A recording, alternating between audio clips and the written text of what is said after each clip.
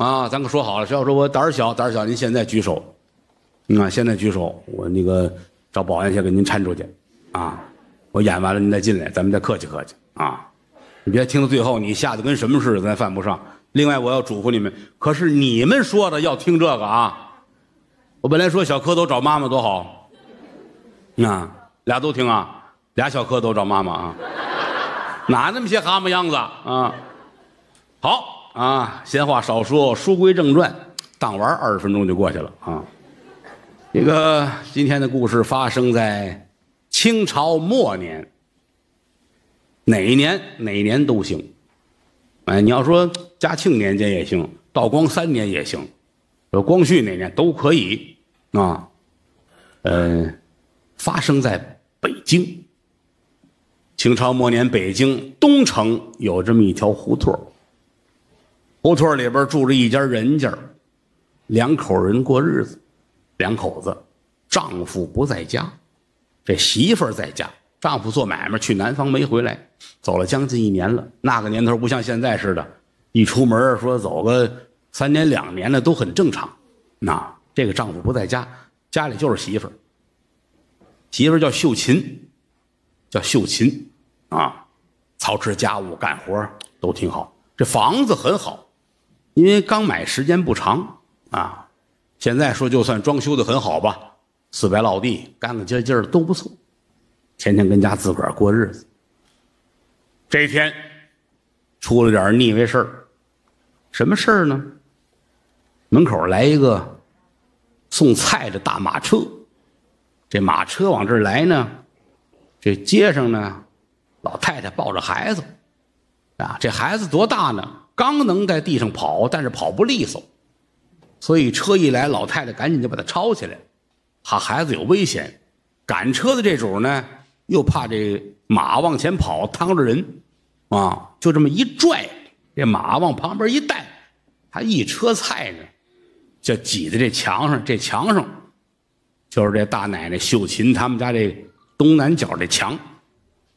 那一车菜也不轻省了，咣一下子，给这墙就挤歪了，这就出来了。你这怎么弄呢？说会儿吧，赶车的直道歉。说您看没办法，老太太弄了孩子，啊，怕出事儿，没想到这撞着您的墙了。你看我们赔点钱吧。人这么客气呢，这大奶奶也不能说什么。嗨，这事儿闹了得了，也不叫什么事儿，可拉倒了。哎，也也别要钱了，人很厚道，不要钱了。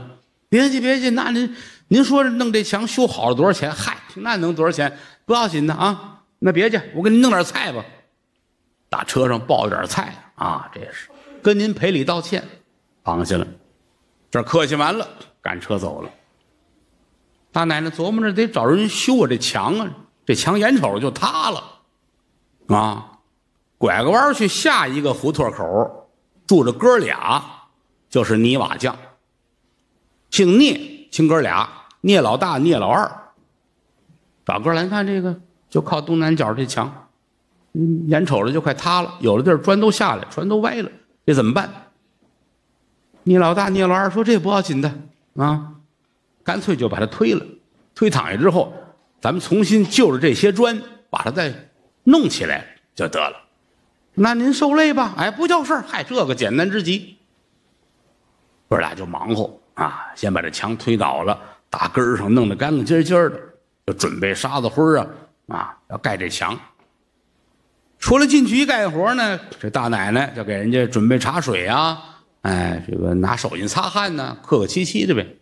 这过程当中，哥俩这老二，这个嘴有点碎啊，一边干活，净净闲话啊。家里您几口人呐？就您一人在家呀？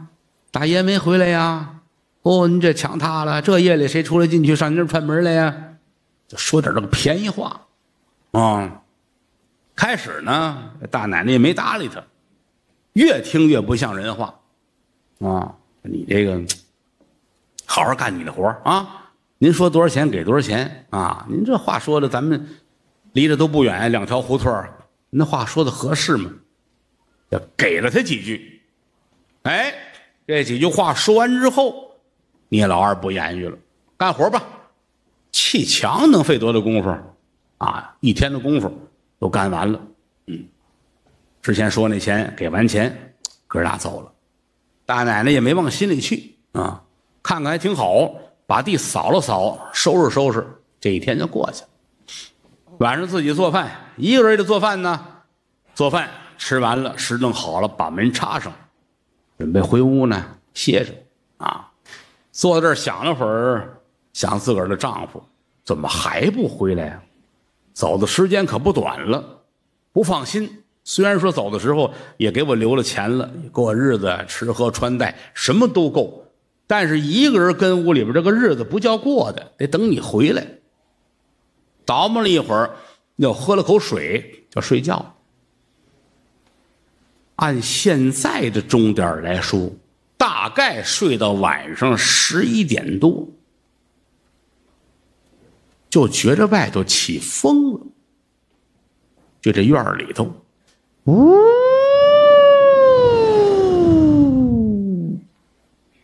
在这风里头，隐隐约约的就听见有小孩的哭声。坐起来了，一个人在家。列位啊，我不知您哪位有这个经验，你哪怕家里有小孩哪怕养一小狗，甚至有一小猫，你都会觉得不害怕，就怕一个人他爱琢磨。人都是这样，为什么害怕？嘀咕，越嘀咕越害怕。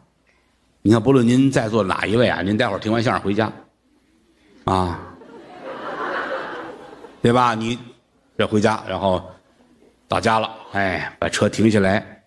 从停车地儿到你们家那儿，灯就黑了啊！回家进门，家里停电了啊！你把门锁好了，躺在炕上，你就老听你这床底下有动静，是不是？我是这么一说呀，啊，未必没有啊。你准嘀咕，对不对？越想越害怕，是不是？这就是大奶奶就坐起来，刮风可以理解。是吧？虽然说月份不至于刮风，但是要说刮风闹天也可以接受。这隐隐约约有小孩的哭声，这是为什么？越听越真着。一掀这被下地了，来到门口这儿，把这门打开了，错点缝儿往外观瞧，就觉得有问题。怎么呢？院子里边的树和墙外头的树，这个树叶不动，树叶不动，但这风声依然在有。呜，就这院里的起风。大奶奶胆子不小啊，咵把门就打开了，探出头去，站在门口这儿往院里看，就感觉着院子里边有一团风。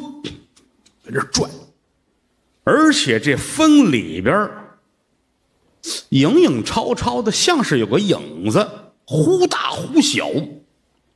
就站着看，看了两秒钟，大奶奶就觉得从头顶到脚心都凉透。这风里边这影子特别像一小孩儿，一边刮这风，一边奔着人来。这小孩在这影子里边。伸手那意思找大人要抱，害怕不害怕？你们别往心里去，也没说你们啊。说话之间，这股子黑烟就快到跟前儿了。黑烟里边，这小孩伸手要往前扑，那意思你得抱我。大奶奶一转身就进来了，啪，把门就摔上了。咕噔就坐地上了，啊，半天都没站起来，为什么呢？看得太真了，这是怎么回事呢？这是啊，好半天的功夫，拽着旁边这桌子站起来，这腿一劲哆嗦。哎呀，这是怎么回事呢？支棱耳朵又听了一会儿，好像这风下去了。那小孩的声音也没有了。不对，又听了听，风没有了，但小孩的声音还在，比刚才听着更真。大奶奶心说要了命了，埋怨自己的丈夫，缺德了，你还不回来吗？撇我一个妇道人家在家，我吓也得吓死呢啊！心说呀，有什么事明儿天亮再说吧啊！问问街坊这几个奶奶、婶子、大娘的。谁有主意给我出出？这怎么办呢？一欠身坐在炕沿上了，这个心还噔噔噔噔噔噔跳。有这么二十来分钟，听了听外边没声音，心说：“我睡觉吧。”要睡觉，哎，你们不带这样的，你们吓我一跳，你们啊！以后你们要乐，你们举手呀，说一声啊！刚好睡觉。就听那外边有人敲大门，啊！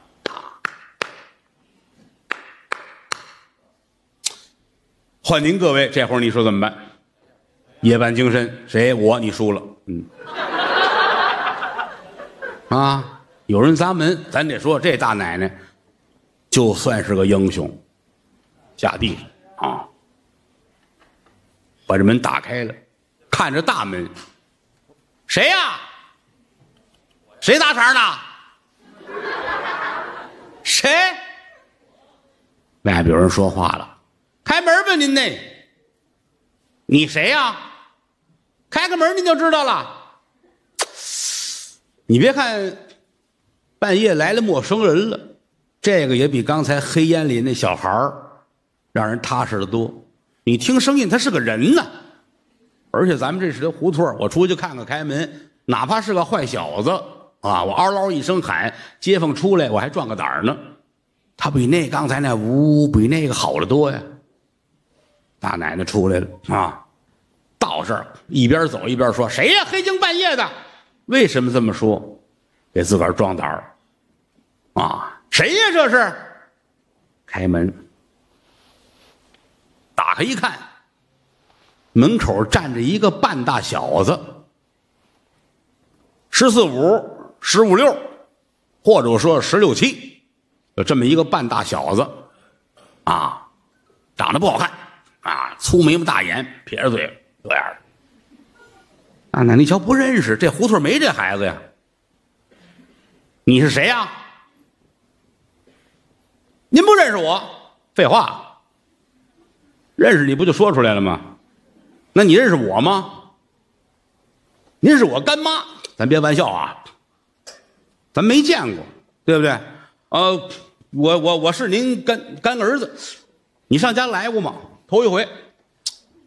这这没有这个瞎认亲戚的这孩子，你你找错了吧？不是，啊，那个我我我知道是这儿啊，我干爹告诉我说住在这儿啊，呃，他快回来了，让我先来打个前站啊，我走的比比他快。你这个你这孩子。这孩子说着话的功夫，往院里探头。咱家里有问题啊！啊，你说什么孩子？咱家有问题呀！咱家有什么问题？我觉得咱这院儿，您且开了，拿手一拨了这大奶奶，这孩子进来了，到这院里看，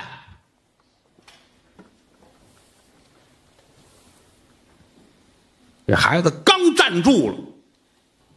这院儿里这黑烟就起来了，呜，一股子风，风里边刚才那小人影又出现了，一个小孩儿啊，扎沙子俩手往前扑，这小孩也不客气，伸手那意思我要抱你，这黑影过来到跟前要抱没抱呢？这干儿子一抡手，啪！给这黑影里这小孩一大耳贴子，啊！当时眼前什么都没有了。嗯，干妈您瞧，我说有问题吧？是不是？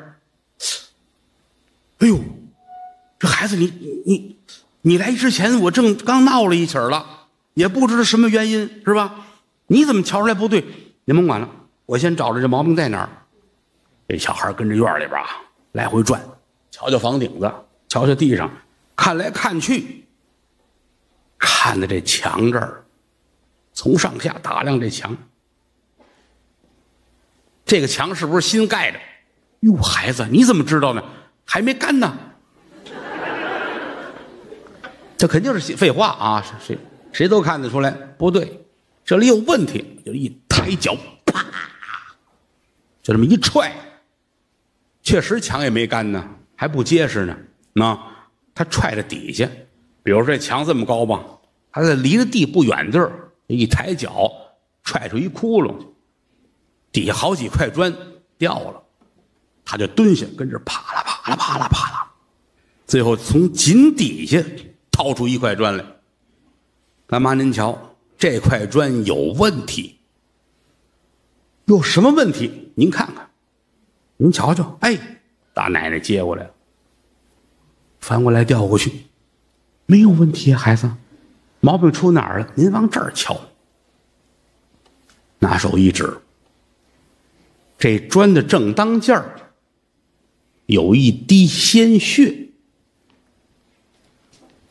人的血，孩子，这是什么问题？这是谁给咱家盖的墙？这是他刻破中指，把鲜血滴在这上边了。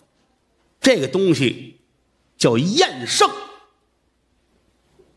验圣，您上网搜，有这俩字儿，讨厌的厌，胜利的胜。这是过去盖房的呀，不管是瓦匠啊、木匠啊，常用的一种手法。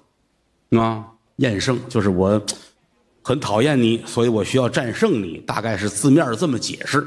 于是，在盖房的时候，会有一些个技巧，通过这些设置和他的咒语，诅咒你们家有一些个不顺利的事情。啊，咱们哪天可以单独拿出一个时间来，就讲这个厌胜。啊，因为厌胜的故事那无计其数。说这个就是有人恨您，给您设计的这个啊，你看上面有写，按他们那行来说。刚才咱们这个碰见黑烟，跟这个是有关系。哎呦喂，孩子，这得亏是你了啊！哦，这行了，这你一脚给踢破了这墙，咱们家这就太平了。干嘛也不能这么说，鬼是不闹了，但是很容易闹贼。踹一大窟窿啊，小偷再进来就很方便了啊。那先码上吧，明儿再说呗。哎，把这块砖就搁在外头了。剩下的砖往这一码，大概填平了。说明儿白天找人再弄啊。孩子，你进来吧，上家来吧。啊，姓什么叫什么？说说你干爹的事不不不，不着急，我就先跟您说一声，我干爹快回来了。那就这两天的事儿啊。那我也别打扰您休息啊，别打扰您休息。按说我不该这点回来，我也没想到啊。您歇着吧，歇着吧。呃明后我我我再过来，我再过来啊。哎，你别走，这孩子我还没问清楚，我还来呢。愣头青，这孩子就走了。啊，大奶奶回了屋来，坐在这儿想了想这点事儿，太奇怪了啊！这一闹心思呢，这盹儿就过去了。坐在那儿，自个儿弄了口热水喝啊，桌上点着自个儿这油灯啊，琢磨着 这当家的这是跟哪儿收这么一个会法术的干儿子？这孩子还挺好。你别看长得丑吧，还挺冲。你看，打他弄完这砖到现在，院子里边没事了，你没有声音，没有哭，也没有什么黑烟，都没有了，挺好，挺高兴。大奶奶一人坐着喝水，桌子上放着这蜡台，叫这个灯啊啊，不在这儿立着吗？这是那火苗，秃噜秃噜秃噜，他坐在这儿喝这茶。嗯，这身后头呢？这身后的是墙，墙上面挂着画这边是他睡觉那个那个床，这边是桌子，连吃饭在干嘛？这是他屋里边大概的摆设，就在这个墙上这儿挂着一张画哎，挂张画这大奶奶也不懂这个，但是房装挺好，这画是人家原来留下来的，都一直没摘。要不这墙上四白落地大白墙不好看，所以这花一直没摘。画上呢，画着一美女。啊，哎，挺好看的，就是那你想象中那种古装美女吧，那画上，嗯，她坐在这儿，这是那灯啊，灯上面是那火苗子，这火苗子呢，晃着晃着呢，因为后边紧挨着就是那床嘛。过去床不是那种架子床吗？您见过吧？上古玩店看看去，啊，外边有这么一四方的框子，挂着幔帐，啊，然后人在里边睡觉。那个床好处在哪儿呢？睡着踏实。为什么呢？把这帘放下来，就在那一张床上，是一个私密的空间。您上故宫看看去，皇上睡觉那屋也没也没这台大。为什么呢？这睡得不踏实。你说真是这么大一卧室啊，方圆四公里，当间来一床，那会儿。跟躺坟地似的啊，所以睡觉的房间一定要小，安全感、私密感强。就他这屋这儿就是这个架子床，架子床上挂着幔帐，挂着穗儿。大奶奶坐在桌子这儿，啊，这环境是这么一个状态啊。他吃饭也在这儿，后边就是墙。这个蜡烛一摇晃，你想啊，这蜡烛照到后面白墙上，它会有影子。这各位能理解啊？它会有影子，它这个影子呢，正好拿这个光就照到这个幔帐了。这个幔帐呢，您都见过，现在找人做窗帘的就给您做，哎，挂着那各式各样的，两边拴个蝴蝶穗似的啊。它这个幔帐上有个穗儿，有这么一条，哎，这个是什么样子呢？就这样的，拿灯就把这个这条绳索的影子就映在后边墙上。我再重复一遍，各位啊，灯影把这个幔帐的穗儿映在后面墙上了，这个穗儿正好就照在这画上这个美人的脖子上。后边画上不一大姐吗？啊，有一大姐跟后边画上了啊。现在那影子把这幔帐这绳子理解了吧？哎，就搁在他这脖子上了啊。大奶奶呢是背对着这个画她后边是那墙，她坐着喝水想心事后边她又不知道，啊，这影子挂着一绳子，嗯，一会儿的功夫呢，画上这大姐活了，啊，打这画上下来了。你想啊，这个状态啊，比如说你一会儿回家。把你们家挂历上去，这年头谁家有挂历啊？好了，没事了，没事了啊。他就下来了，下来可前面不知道啊，下来就奔幔帐去了，就找刚才照他影子那时，后边这大姐一吊这个，往脖子上一挂，手松开了，啊，来回就跟这儿啊。玩的很愉快，啊，他玩的很愉快，前面还有人呢。大奶奶无意中一回头，吓坏了啊！再一错眼神的功夫，没了。这主又回去了，又上那画上摆着去了啊！这体育休闲活动结束了。大奶奶心说：“我不要再睡觉了，啊！”这个屋子是待不了了啊！就这么着，坐到天亮，啊，到天亮呢，外边太阳一出来，倒觉得有点困了啊。有太阳了，人就踏实了啊。迷迷糊糊跟这儿睡了一会儿，这一觉睡到什么时候？现在说上午十点来钟，啪啪啪啪砸门，啊，大奶奶醒了，谁呀？干嘛？我来看你来了。我那儿子来了啊！你别看不知道叫什么啊，现在觉着他就是自己的亲人，赶紧下地开门到这儿，把院门开开了。果然是这孩子。干嘛？我回来了。昨天这个没再闹吧？啊，院里没闹。你这话的意思，你上屋里参观参观来。进来吧，让到屋里来。怎么回事？你往这儿瞧。这大姐昨天打秋千，被我发现，如此这么般，这么般如此，把事儿一说，这小孩也愣，一把把这画就摘下来了，咔哧咔哧几把就撕了，紧跟着点火就烧了，在院里找一旮旯把它烧了，这一烧，就这画里边隐隐约约有人哭，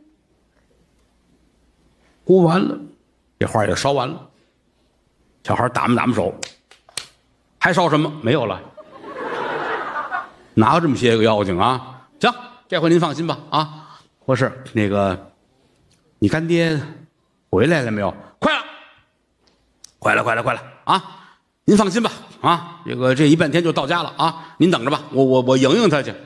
哎，你回你回你回来，三叫五叫没叫回来，小子走了，就这么愣。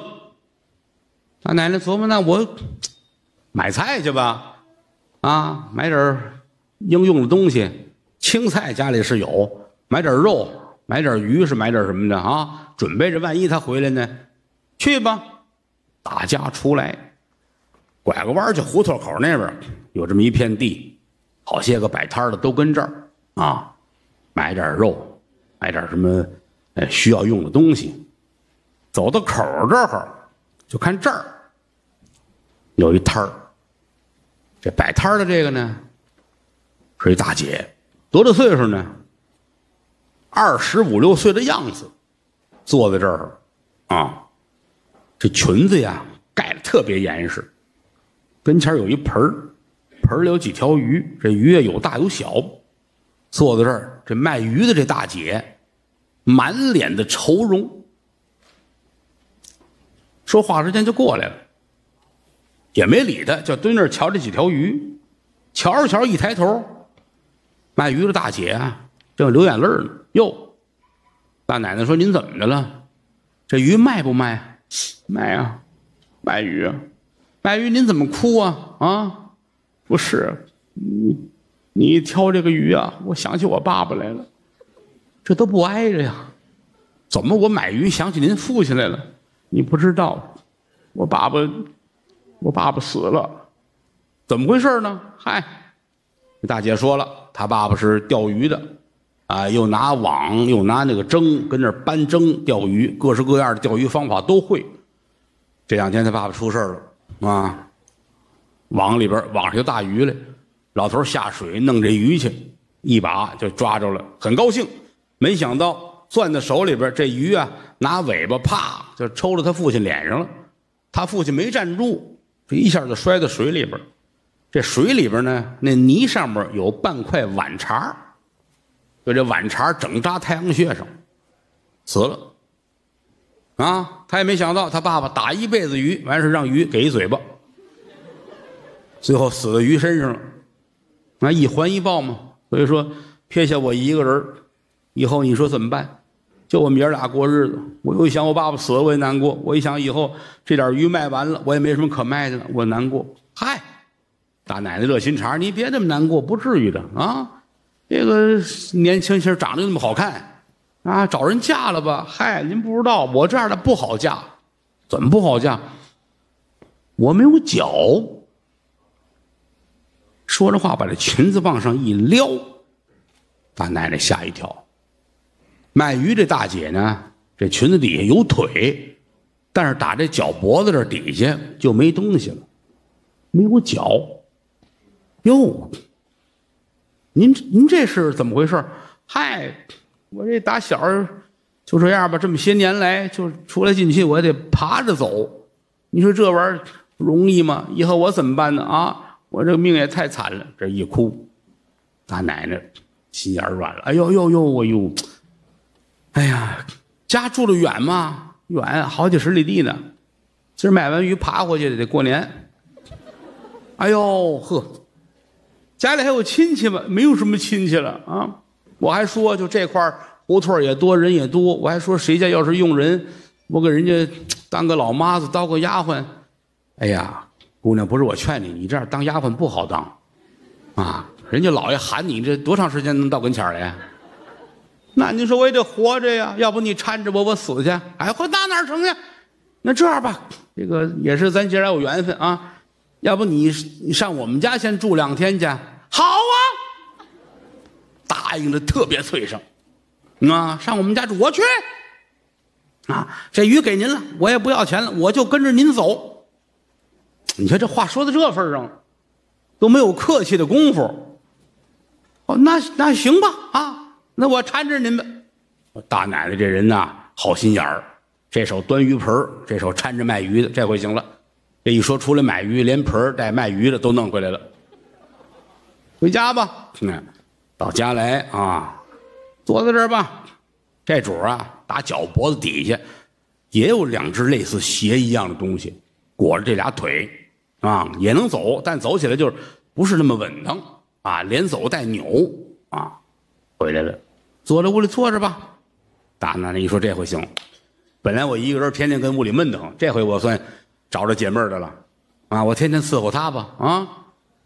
聊闲天说话，一聊天觉得还挺好。卖鱼的大姐很敞亮啊，高兴。嗯，说会儿话，忙活饭，俩人吃点什么。卖鱼的大姐，好家伙，饭量真大。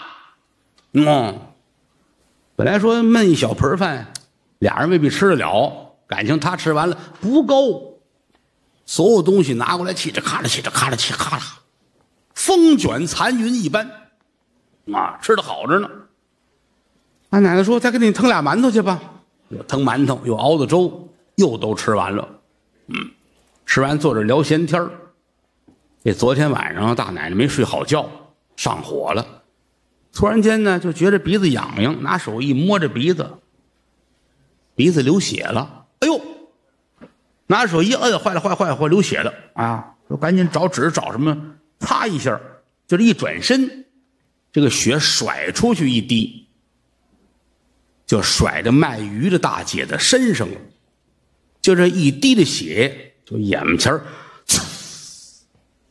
一股子白烟，卖鱼的大姐没了。大奶奶吓一跳，哎呦喂！不是这，刚才跟这儿是人哪儿去？吃饱了跑也不能太快了呀。对不对？他得亏他是没有脚啊，他要有脚，他哪儿去？哎呦喂，千不恨万不恨，恨我自个儿的丈夫，撇我一个妇道人家啊！这玩意儿什么时候是一战呢？哎呦喂，你赶紧回来吧！正说着呢，就听着院门咣当一声响，打外边进来好几位，头里边就是管着叫干妈的小孩正当中是她的丈夫。后头还跟着四个老头丈夫乐了，我张小乙回来了。有人听过张小乙下南京是吧？这是由打南京赶回来，张小乙回北京，日遭三险，他要大闹西直门。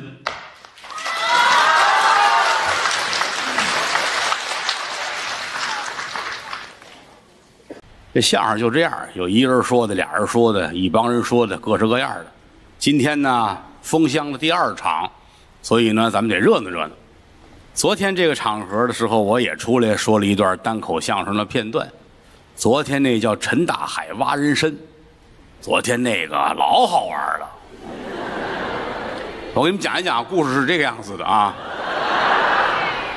没有这么干的啊。那今儿这又说不清楚了。昨天呢，很遗憾，因为时间有限，昨天挖了个坑，故事没说完，对不起昨天的观众。但是你们以为能饶过你们吗？啊，听书啊，听的就是扣听着听着给搁到坑里边，这是个乐趣。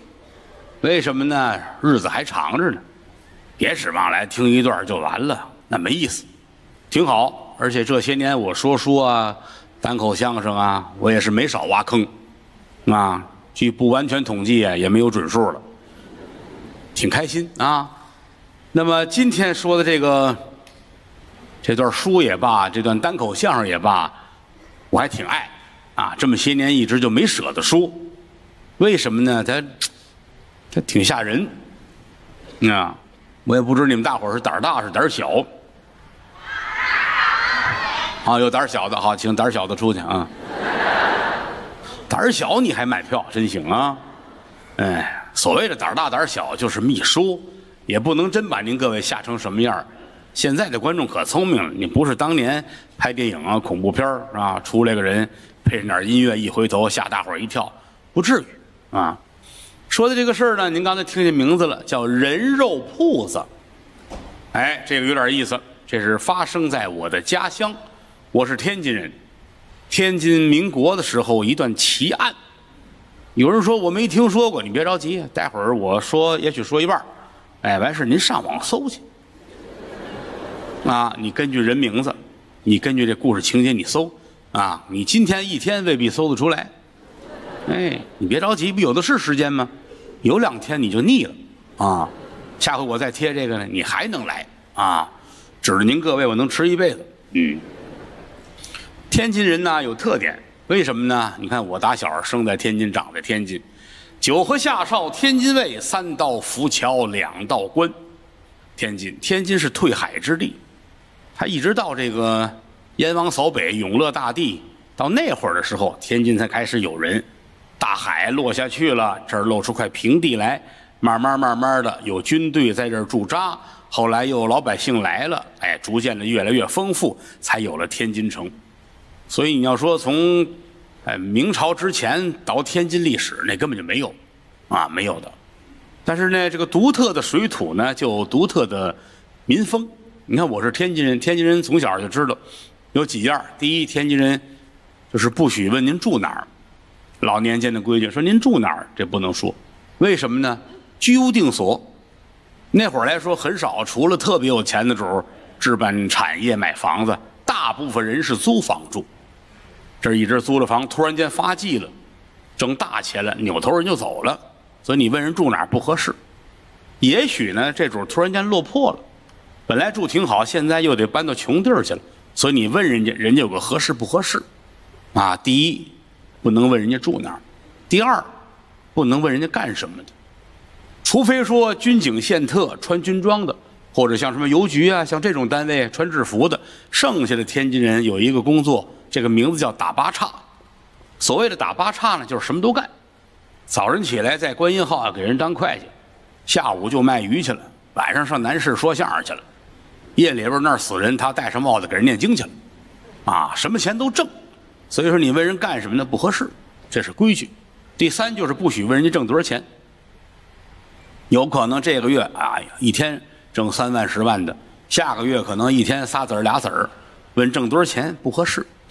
它是这么一个独特的民风。另外，天津有一种盛产的人呢，就是混混。不知您哪位熟悉这个行业啊？混混啊，他跟流氓还有区别。啊，他夹杂在各行各业当中，啊，有人说这里边有青红帮的文化，有地痞流氓，有这有那个，都对也都不对，是单有这么一类人，啊，他跟您就看看上海的过去啊，什么黄金荣啊、杜月笙啊，北京的这些个什么街头的地痞地赖啊，他都不一样，啊，做事的风格也不一样。同样一件事情，天津过去那混混他他做法就。很有独特的地域特征。你比如说天津这个混混啊，有一特点，他爱自残。你看，无论哪儿的这个地痞流氓，一打架都是打对方，啊，唯独我们天津的混混打自己。你看这个玩意儿啊，这一见面，咵一三说五说说翻脸了，他把手指头伸出来，拿小刀冲着你唰唰唰唰唰唰，真事儿啊，削削这肉。削完肉露着骨头，然后咔咔咔咔咔切平了，你怕不怕？对不对？你看着就瘆得慌。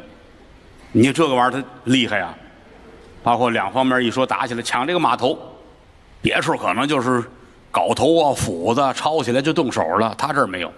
哎，摆上十口油锅，油锅里边嘎啦嘎啦油啊，两方面抢这码头来吧，一边出一个人往油锅里边跳。哎。多在这边，这边害怕了，没有人跳了，拉倒，你就算输了，你就很奇怪啊。其实来说，从经济学上来说，这个方法倒是便宜。你打起来完事，他得花多少钱？是不是？这个省心，而且让你从心底上恐惧。要说起来，这个也对，因为天津啊，过去它这个历史上来说，都知道陈塘关嘛，啊，陈塘关在天津。你要再往上倒，倒到《封神演义》，陈塘关总兵叫李靖，他那儿子哪吒，他跟他爸爸打完架之后，我还给你，咔咔咔，把自个儿切碎了还他爸爸，对吧？所以这个东西它它有传授，那是这么一个行业。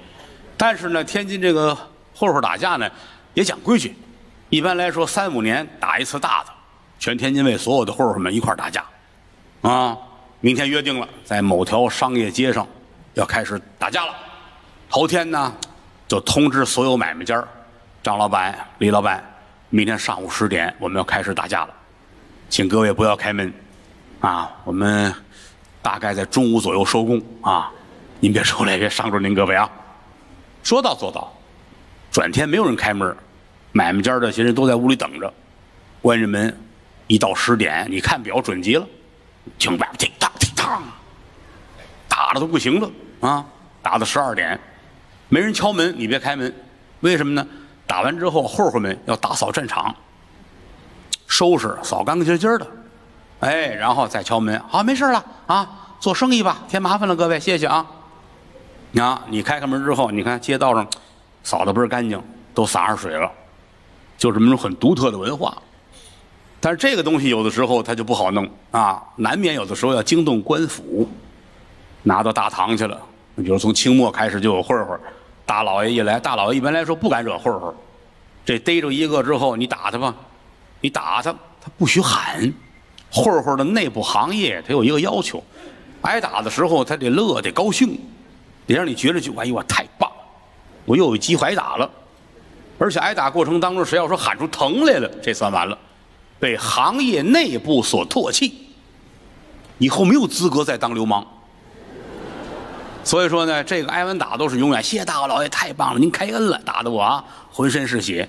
关键你打完他，他这一波的这一百多人、二百多人都来了。大老爷，求求你啊，也打我们呐，雨露均沾呐。你衙门口四十个人，他来三百个流氓，你打得过来吗？所以这个官儿让他们也弄得没辙没辙的。但是呢，他也不可能永远让你们这么猖獗呀。后来这个清朝政府有一次严打，啊，光绪十八年，那那个来个官挺厉害，把这个天津城的大混混、小混混抓了不少。抓了之后两条道啊，两条道一条就是悔过自新就放了你。怎么悔过自新呢？从天津那些低档次的风花场所找一些个失足妇女，啊，还得找那个不够身份的失足妇女，哎，特别寒碜那个都找来了，就站在大堂上穿一开裆裤站好了。你要说打算改过自新，就从他腿底下钻过去，哎，钻过去喊一声亲娘，这失足妇女答应你一声，你打这儿爬到大堂以外出这门，您就无罪释放，走向新生。这个对混混来说是极大的侮辱，但是如果不同意的话呢？另一条道就是就地杀头。你挑吧，或者认一亲妈，或者就杀头。这个玩意儿，人到死时真想活呀！那一瞬间，天津几乎所有的大混混、小混混都认了亲娘了。当然了，从那儿起也不可能再干这行这行业内部就不容你了。这完了，这这人啊，没有面子了。唯独有这么一个人，这人姓王，啊，叫王二狠子。你听这名儿啊，姓王，王二狠子，啊，打死我我也不会这样做的，啊，不同意，不同意怎么办呢？杀头。啊，在刑场上，他妈来看他，就那会儿这主这辈子哭头一回，给他妈磕了个头，妈，我对不起你，咔吧啦嚓一刀切下去，脑袋掉下来了。所以天津人啊，一直一说有最厉害的谁，叫王二狠子最厉害。你没有他横，他多厉害，这么一主。他是死了呢，他家里还有妈呢，这妈哭一大包，死尸埋了。家里有一弟弟，弟弟一直就把他母亲养老送终。啊，我们今天的主人公就是他弟弟留下来的那个儿子。啊，因为这个故事其实很复杂，咱们就简简单单让大伙儿一说一乐一明白就得了啊。他弟弟呢有一儿子叫王金花，名儿起的秀气。为什么呢？就说了家里以前死的那个王二狠子啊，就是太横了。希望后边这小子呢稳稳当当的，那像个姑娘一样，就给起个名叫王金花，倒是挺秀气，挺好。长大成人了，这一晃呢，已经到了民国了。这小子都三十岁了，干什么工作呢？做一名巡警，在街上巡警，跟着一块忙活忙活，反正是有碗安乐茶饭。这一天，上面通知他了啊，说过几天啊，早上起来有红差，你得盯着点儿一块儿把地面上忙活忙活。所谓的红差，就是有人呐出大差，枪毙人犯，死刑嘛。天津这个刑场在小王庄，小王庄二道桥，想当初很荒凉啊。你现在您上那儿看去，那个盖的高楼大厦了啊。想当初是枪毙人犯，都是在那儿小王庄。他作为地面上的巡警呢，这一帮人大伙儿起来之后，就上这儿忙活，把地面上处理好了，因为还有好多老百姓得看呢，啊，等着人犯来跟这儿枪毙。今天王金花在这儿负责，但是王金花还有一个任务，他有一个朋友，朋友家里边啊卖牲口的，驴呀、马呀、骡子卖牲口的，做这个生意。这朋友找他来了，说花儿啊，你帮我一个忙。这个死刑犯身上不是绑了一根绳子吗？枪毙之后那根绳子沾着血，你把那个带血的绳子，你给我拿回来，因为拿那个拴牲口啊，不管是走夜路还是在牲口棚里边，它辟邪。其实现在咱们知道这个无稽之谈，但早年间人家都相信这个，有的我朋友说的，啊，他这不叫事儿，不叫事儿，不叫事儿，你甭管了啊。这是绳子给你们，那死刑犯你们不要，不要那没有，那那你们该弄走弄走啊！要那根带血的绳子，啊！说要简言，一会儿的功夫又打那边把这个死刑犯就拉过来了。这小子也是干了坏事十恶不赦啊！拿绳子捆好了，五花大绑，啊，一大帮兵丁压着，就整个这刑场周围老百姓都满了，就爱看这个热闹，都跟那儿等着。啊，到点了，把这人摁在那儿，这旁边人举着枪要打。这个王金花离得很近，就在这儿，就等着啊！一响枪一响，人犯一倒，过去解这根绳子，要这沾血的绳子啊，等着吧。啊，人家刑场上也是按部就班，这都忙活完了，验明正身都没事了。行刑的兵举起枪来，啪，这人犯咵就扔那儿了。啊，他这枪呢，那个年头不像现在似的这么规范，有打后脑的，有打后心的，所以这绳子一下就沾上血了，啊，人趴在这儿了，抖楞几下就死了。有一个也有检验死尸的，像法医似的人物，拿一小铁棍过来，啊，小铁棍呢后脑勺还有眼呢，脑伸进去霍楞一下，霍楞这脑浆子，就证明这人得死了。这都忙完了。他过来，因为他在现场嘛，啊，这忙着，他解这绳子，哎，死人这绳子，三下两下解下来了，拿在手里一看，还挺满意，沾的血还挺多，嘿嘿，这行，待会儿给我那哥们儿，我得让他请我吃饭，哈哈哈哈真高兴啊，腾一声，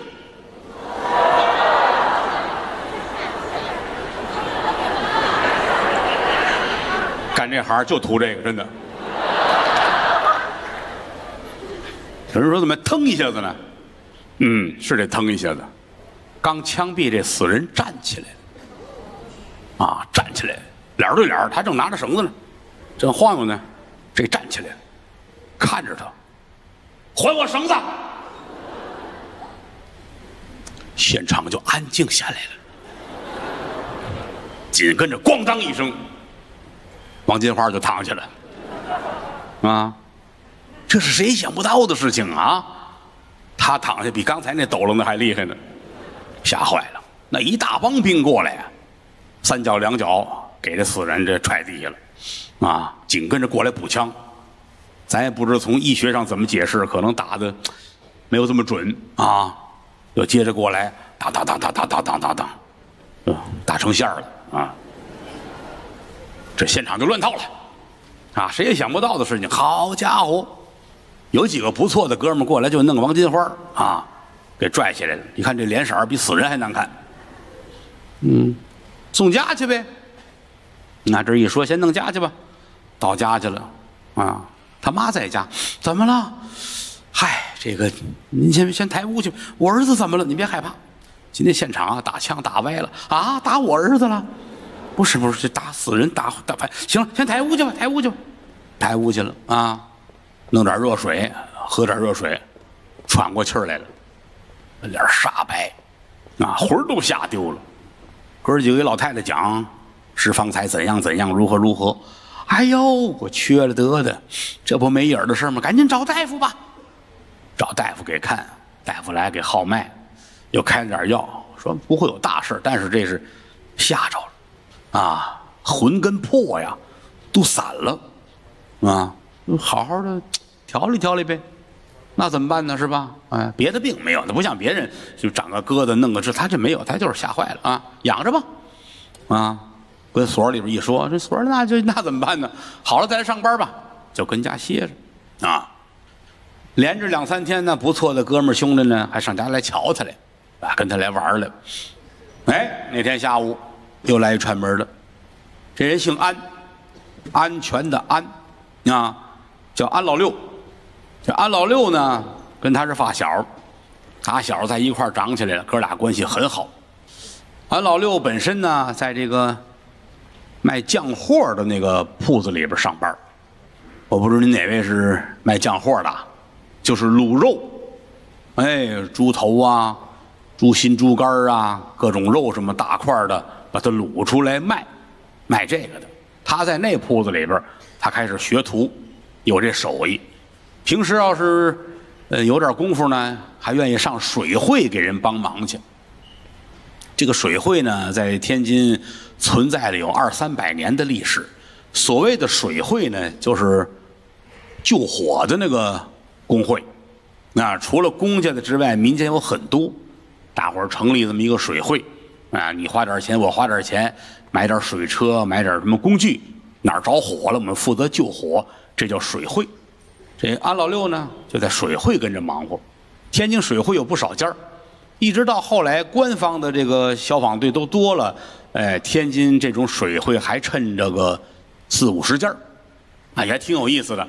每年六月二十三，火神爷过生日，大伙儿聚在一块儿上供，然后撒请帖，把地方上有钱的人聚过来请人吃饭，其实就是拉赞助。那个钱就是这个水会的经费。平时一说哪儿着火了，这儿赶紧哎，弄着车呀，弄个水桶啊，敲着锣救火去。天津这个挺好玩啊，比如说那儿着火了，这帮水会到那儿去。我们到了之后，他属于那个管片儿的水会没到，我们这个不能干活，不能压人家地方一头。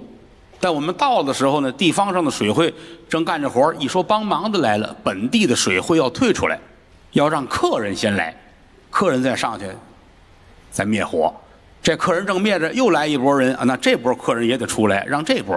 就因为这个，可没少耽误事儿啊！瞎客气嘛，一天到晚的。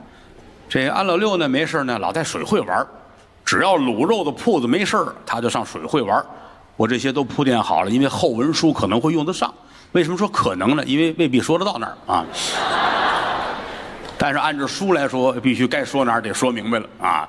万一你们上网要搜出来了，那不好弄那玩意儿啊。简单介绍一下这个人的身份背景。就听说了，听说金花吓坏了，啊，到这儿来买了点点心，买点水果，怎么了？哎，没事儿，我没想到啊，那个我解绳子，我把他救活了啊，他自个儿起来了，哦，他起来之后呢，我躺下了，哦，那现在现在他打烂了啊，我抬回来歇着了啊，哥俩聊闲天呗，说会儿闲话。怎么样啊？行，倒是见好，缓两天了，浑身没劲儿，腿是软的啊。我估计再缓几天就好了啊。你也别着急啊，好好歇着，不要紧的。你怎么样啊？我还行，就是一些日子心里不痛快。为什么不痛快呢？嗨，我们那掌柜的不是人，他说的是那卤肉铺子那掌柜的，那不是人，一天到晚的也不干活，老指使人瞎出主意，他又没那个手艺。搁盐呢，搁酱，搁这，搁那个，他瞎出主意。你要听他的吧，弄完之后不好吃，不好卖，他还骂我。你这一天到晚怎么弄？哦，你有这手艺，你这干嘛不自个儿干呢？再有一个，你这是家传的手艺，对不对？从你爷爷，从你们家好几辈都干这，嗨，哪那么简单？我一直憋着自个儿干，自个儿干就得弄个门脸儿，对不对呀？你要再雇个伙计，再置办这套东西，怕钱不够。嗨，得了，你也别那什么，你算算多少钱，我给你。哎呀，你你你能有多少钱？嗨，这哥们儿一场，哪怕算我入股，好不好？哎，我出点钱，你有手艺，你找个地儿是吧？你就别雇人了，你就一个人呗，弄个小门脸儿，对吧？门口摆个摊儿，屋里边能炖肉，拿出来卖，咱俩人的买卖。要挣了呢，你就分我点儿啊！以后发了财了再还我这本儿。要不挣的话，就就再说吧，不碍紧的。哥俩一场，我看你天天这样，我也难受。哎，这就是朋友。他这么一说呢，这安老六还真活动心了。那我我真找地去了，你找去吧，找合适地儿，咱们干这摊儿吧。好嘞，转去了，两天就回来了。哎，花儿，我找着了，在哪儿啊？北马路。天津有北马路啊，现在还有北马路路边儿有一小门脸儿。原来他们卖切糕啊、卖元宵那家不干了，就一个不丁点儿的小屋子啊。他们也是屋里边干活，门口来一条案，在门口卖。我问了，还行啊。这房东等着用钱，但是我谈了谈合适。你看能能不能干？你要说不能干就拉倒了，我赶紧跟人回一声。你要说能干，真是你把钱拿出来。啊，你就算是我的东家，我给你干活，咱哥俩的，好家伙，什么东家不东家，给你钱吧，啊，拿出来没多少钱，啊，几十块钱，也算他这些年的存下，你拿走吧，啊，那个最好能卖钱啊，能卖钱，咱咱俩还分，好嘞，好嘞，好嘞，拿着钱出去，简短结束，把房子租下来，置办这些东西。啊，什么锅呀、炉子、盆啊、菜刀啊，乱七八糟的，门口弄大条案，刷的干干净净的，这算行了。给自个儿干活跟别打工那不一样，心情不一样，很开心啊，特别开心。买肉吧，买肉，自个儿卤，自个儿炖，弄出来就算开张了。但是打开张，生意就不好，好多事儿很奇怪。那你看他原来呀，他给人打工。哎，那掌柜的，你别看他人性不好，他有固定的客户群，只要到点了，来吃肉了就来了。他自己一弄，还是他，还是那个手艺，还是那个味儿，就不行，没人买。哎呀，自个儿看着发愁，为什么呢？朋友的钱，王金花的钱，我开的这摊买卖，哎呀，这可怎么弄呢？往这边一瞧，就他这个买卖这一溜往那边去，心里也咯噔一下子。那边还有两家卖卤肉的，啊，人家呢也一直瞧着他，这玩意儿能痛快吗？你说，他还不像说，嗯，卖裤子卖衣服这趟街两边都是，大伙儿能挑挑摘摘，就这一趟街，就卖后边这几条胡同两三家卖卤肉的摆着，他呢还过去跟大伙儿打一招呼，哎，好好，开张了，您多关照，人家也带大不理儿，不老爱看他了，这两家呢。有一家啊，连干带不干不重要，因为那家开小饭馆啊，你吃就吃，不吃呢搭到屋里去，有喝酒的也能卖。有一家是专门卖卤肉的，卖卤肉这掌柜的呢叫老饼，不是我们这烧饼他爸爸，不是啊。你们一乐我就知道你们要干嘛啊啊！咱也不知因为什么啊，叫老饼啊，老饼也是自个儿的手艺。这两家买卖就有点顶着来了啊。老饼看看他，他看看老饼啊，互相瞧着，嗯，都不太舒服，都不太痛快啊。但是呢，他觉着一趟街上我们又是后来的，跟人客客气气的吧，就得了。那时候呢，也没往心里去。这两天呢，呃，卤肉摊开张，但是俺老六心情特别不好。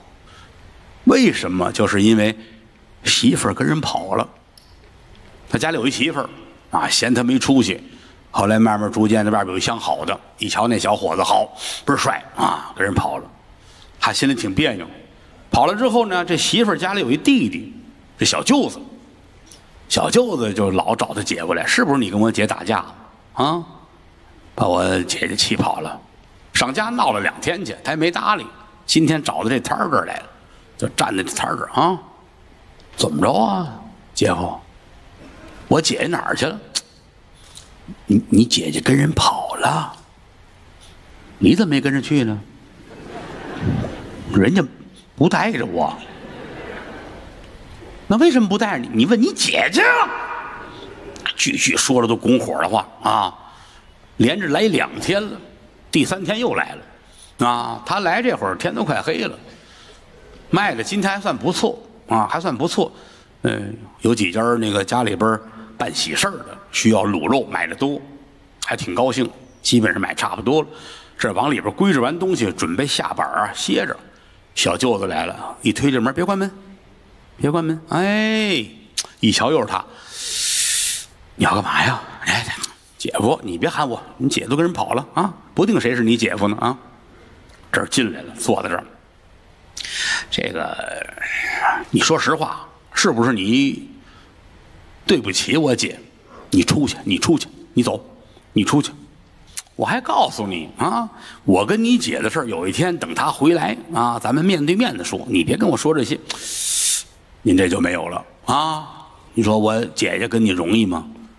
啊！自从跟了你，也没吃过好东西，也没穿过好衣服。你到现在，你这个我们活不见人，死不见尸。我觉得今儿这事儿咱们得说道说道，要不然的话，咱俩人打官司去。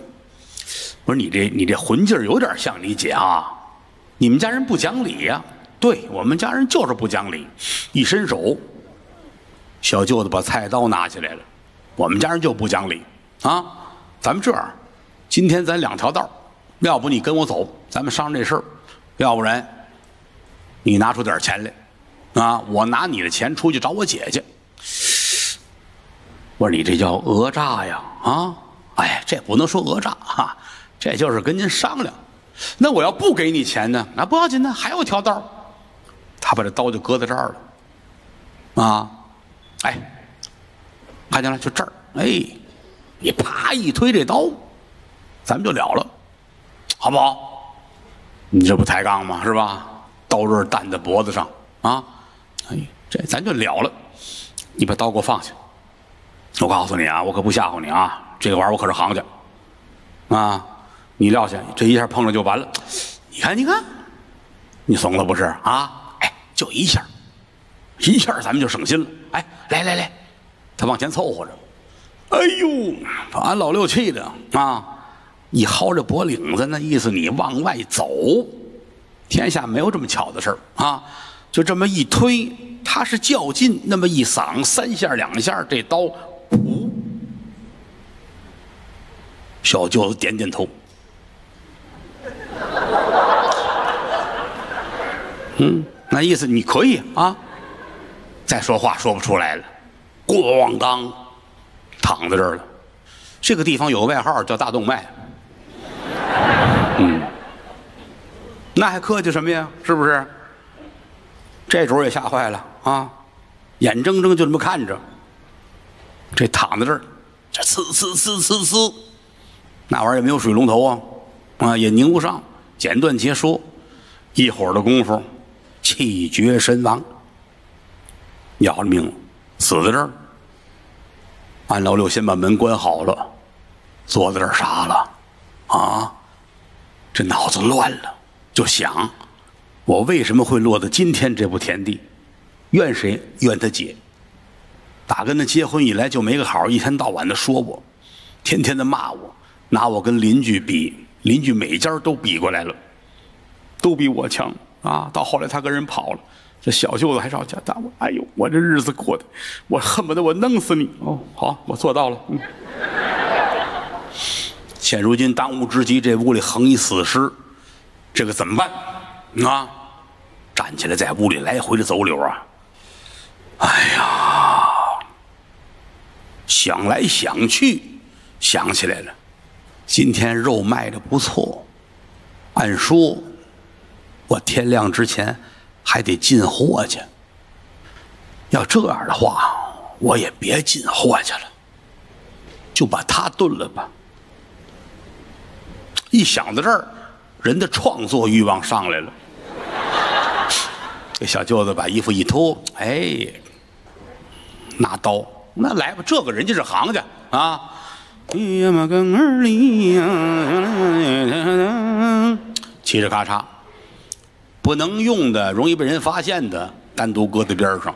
剩下这好肉，该切的切，该洗的洗，啊，下锅呗，干活吧。啊，挺好。到天亮了，一大盆，没有多少。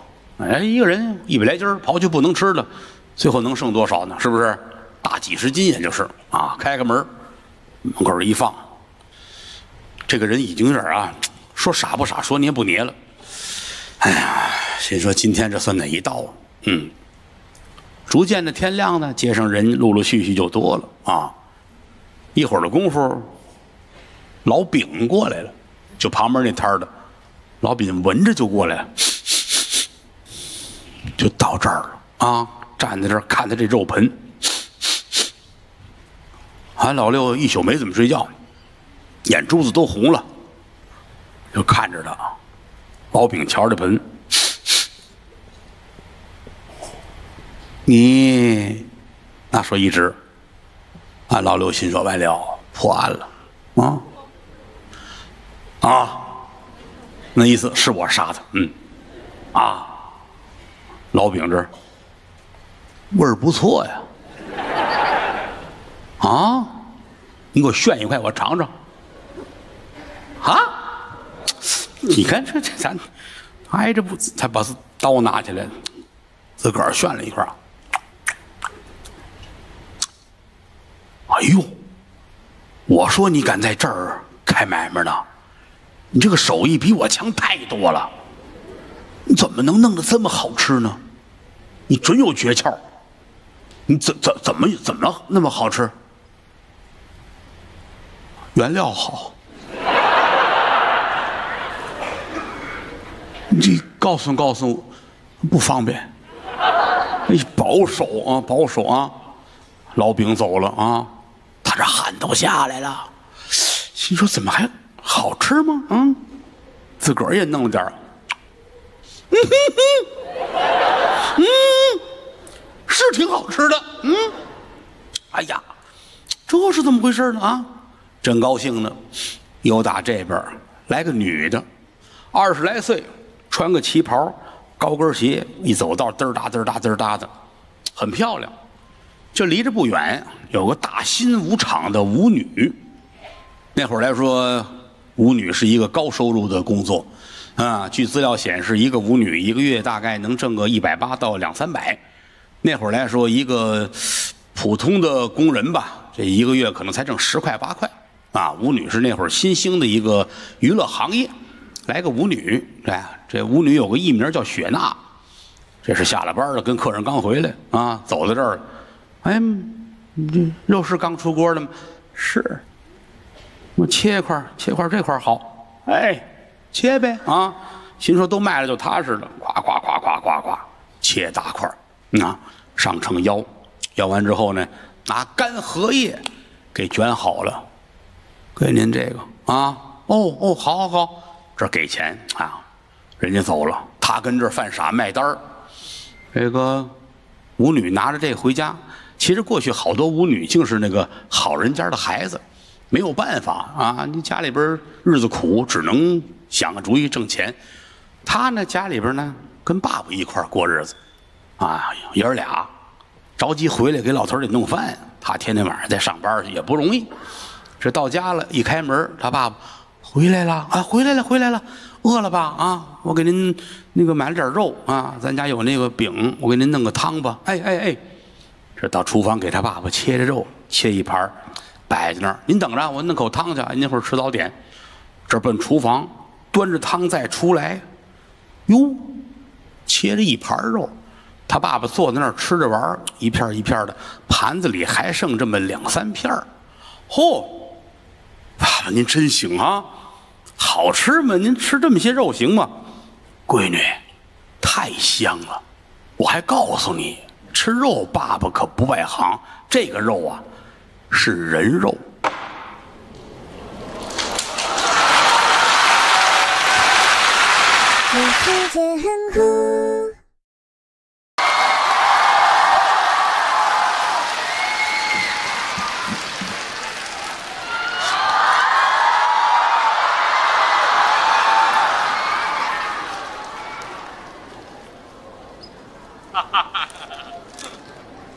哎呀，可爱哟！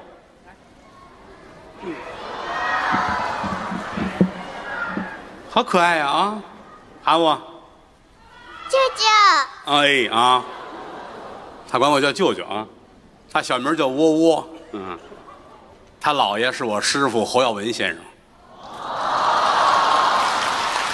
跟大家打招呼说你们好。你们好，哦，窝窝好，窝窝说一段吧。哼窝窝傻了，好吧，谢谢你的花啊，舅舅工作了啊，你到后台去找安迪哥哥去玩啊。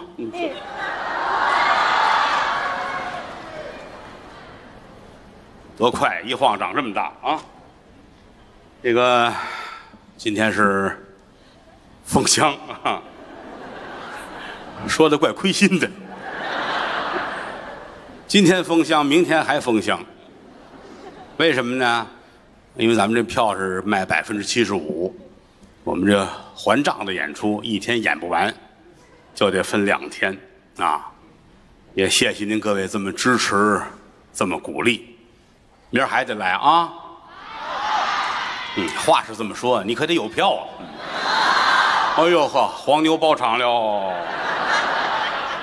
哼，节目太多了，打后台一再嘱咐他们，别出去就没完没了的啊！这后边一屋子人眼巴巴等着呢，这一个个上了台就开心的不行了啊！挺好，这个今天明天一封箱啊，五月份在这儿又开箱，我这个日子都过糊涂了。他往常都是年前嘛，春节前最后一场封箱，春节后然后有一大开箱，这日子过颠倒了。但是也不重要，大伙儿您也都理解啊。今儿开今儿封没事儿，只要还能站这儿说相声，您各位能高兴，就比什么都强。嗯，谢谢啊，嗯。今天这个叫陈大海挖人参，我也不知您哪位有挖人参的经验，啊，看来是没有啊，那咱们就可以继续的玩耍下去了。你保不齐这个人有内行，对吧？我这一说，咵那儿站起来了，人说他会挖人参，我还赶紧得让保安给他弄出去，嗯，人家省了弄得不愉快就不合适了。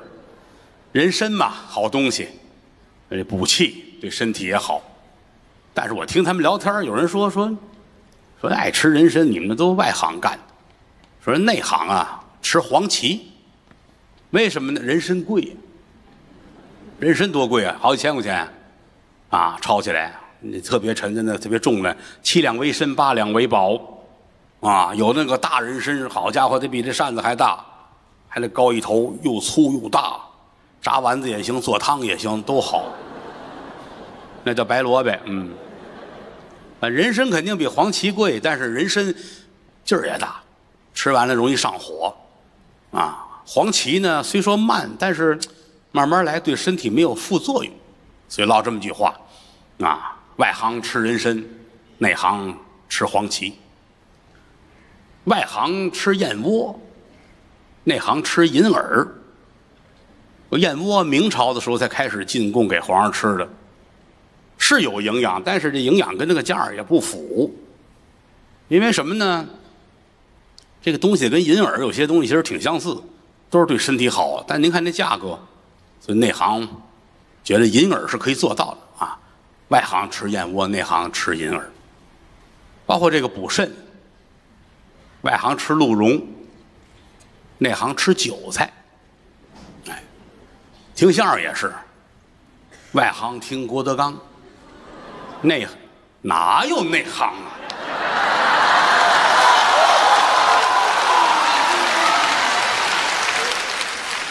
听过相声还分内行外行，累不累啊？一听一乐就得了。挖人参这个行业也有祖师爷，据说这个明末清初啊，明朝末年、清朝初年，山东莱阳有一个。姓孙的啊，这么一位孙大爷，去挖人参去，他是头一个。据说啊，他是头一个。嗯，翻山越岭到长白山挖人参，饿了三天，饿了三天，饿的不行了，人都快晕了。地上看见一个拉拉鼓，拉拉鼓大家知道，咱有句俗话嘛，听拉拉鼓叫不种地了嘛，打虫子。逮一这个搁嘴里吃了，吃完之后眼泪都下来了。旁边有小石头子儿，拿起来在大石头板上刻了几行字儿，啊，这个叫翻山过海来挖参，啊，您写这诗写的不错啊，翻山过海来挖参啊，挖到今天不健身，嗯，三天吃个拉拉骨，你说我伤心不伤心啊？你说有这两下子，找地儿唱快板有多好？写完之后一难过就死了，哎，来一阵风，刮点土给他埋上了。后来大伙儿都说，就挖人参的拿他当祖师爷，啊，据说还有那个庙供着他，乾隆还给他配过一个黄马褂这都是民间传说，这个不重要啊。咱们今天要说的这个陈大海挖人参呢，咱先说一件事儿我这人说书啊，爱挖坑，啊。啊！但是今天，请大家放心啊，凭什么不挖坑？为什么刚才我说你们明天还得来呢？是不是？但明儿来了，跟这也不是一个故事。我今天先坑完你们，明天再坑他们，好不好？哎，这就一碗水端平了。嗯，那说的是民国的时候，啊，咱们不墨粉，哎，大家时间很宝贵。后台还有好几百说相声的，瞪着眼珠子等着上场呢，我不能占大伙儿的功夫太多，啊。山东济宁有这么一个人，他叫陈大海。陈大海他父亲呢，就是上东北挖人参去的，但是他走了就没回来。家里边日子很苦，但凡不苦的话，陈大海他爸爸。不能出去挖人参去，那会儿都传说嘛，你看有人参挖出来，挖出一个来，这后半辈儿就够吃的，都是奔着这个去。他们这个家庭往上倒，其实家里是做官的，啊，不管是哪朝哪代，据说连着十几辈儿都是官宦人家。最露脸的时候，家里边有丹书铁券，丹书铁券搁在电视剧里边叫免死金牌。这历史上是真实存在的，就是皇上太喜欢这个大臣了，无以为报，给你个丹书铁券，上面写着免死，有的是三次、五次、十次、八次，就有这个你犯法了，该杀你了，拿出来他能救你的命，这叫丹书铁券。丹书指的是红颜色的，哎，红颜色的字儿，铁券呢是用铁做的，样式就是跟咱房顶那个瓦差不多，那叫丹书铁券。弄完之后呢，哎，打当间切开了，皇上手里有半块你手里有半块啊，判断真伪的时候，两块往上一拼，这是一块就是你这是真的。但是历朝历代其实很多大臣有这个，最后也有被杀的。这个玩意儿，龙眼无恩，帝王无情啊，那哪说得准去？你就算你有一块上面写着我免死十次。真到金殿上，皇上拿着那半拉，你拿这半拉，皇上这一问，能杀你吗？不能，一次了啊。能杀你吗？不能，两次了。那个有几分钟就完了，问十遍是吧？第十一遍就顿时就杀了。这为什么现在好多那个合同上都写最终解释权归商家所有呢？那家里当年趁丹书铁券，现在什么都不趁了。啊，陈大海他爸爸上东北长白山挖人参去，走了就没回来。这一晃，这是多少年？他走的时候，陈大海还小。现如今，陈大海十七岁，跟他妈娘俩过日子。越来越大了，就后来有那个东北回来的，就问人家：“说你们瞧见过我父亲没有？”有人说了，据传说你父亲挖参死在外头。问一个不信，问两个不信，问好几个都这么说，很难过，娘俩抱头痛哭，没有指望。陈大海说：“您也甭难过了，我去趟东北，挖人参，顺便找我父亲的下落，活要人，死要尸。他妈舍不得，舍不得没办法，家里穷的不行了，还在家里待着，娘俩都得饿死，这是一线生机。他们家住着大杂院儿这个杂院按说能住个三四家儿但是年景不好，这院里现在就是两家人家他们算是一家孤儿寡母，斜对门呢也是个孤儿寡母。那家有一孩子比大海大一岁，那叫王胖子。你听这名就知道啊，挺胖。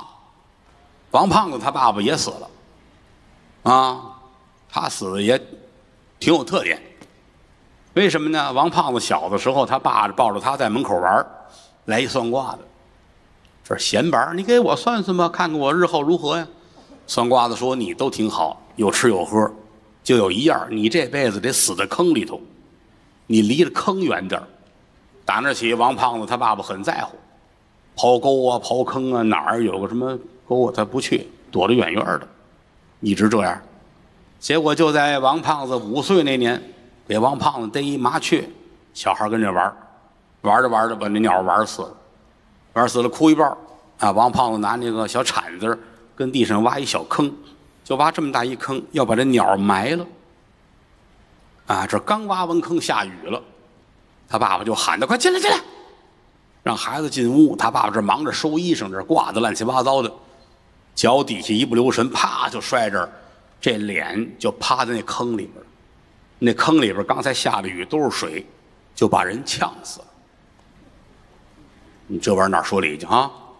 啊，打那起，他们家也是孤儿寡母。今天一听说陈大海要上东北挖人参去，王胖子说我也去，在家里边要不就饿死。两家坐这块儿吃了顿饭，这俩妈呀哭的都不行了，说你们哥俩要出去一块儿，一定互相照顾着，啊，虽说没有血缘关系吧，你们得跟亲哥们儿是一样的。那过去有句话嘛，亲兄弟不挖参，但是希望你们俩人能好好的。为什么说亲兄弟不挖参呢？哥俩感情再好，就怕你们见财起意。哥俩说不会，我们打小一块长大的啊，放心吧，我们好好的。简短截说，把家里安顿好了，俩老太太跟家等着。陈大海、王胖子出离了山东济南，赶奔东北长白山前去挖参。那个年头，就这趟路上，各位您琢磨琢磨，它容易吗？现在您说坐飞机哈，俩钟头就到了，那会儿可不成啊。这一路上也发生了很多事情，今天咱没有来得及时间细说了啊，简短截说，说书的嘴快，唱戏的腿快，一句话，哥俩就到了。到哪儿了？长白山的支脉，这个地儿叫张广才岭，这个山岭叫张广才。您各位上网搜一下，有这地名为什么叫张广才呢？两种说法，一种就是说当初这是满洲话，满语翻译过来的张广才岭；还有一种说法呢，说这儿曾经有一个人叫张广才，他跟这儿开了这么一个招商客店，啊，以他的人名字来命名的。啊，这个不重要了，因为这抄起来这这大几百年的事儿了，具体因为什么咱们也分不清楚了。哥俩就来在了张广才岭，准备找地儿先住下来，明天开始挖人参。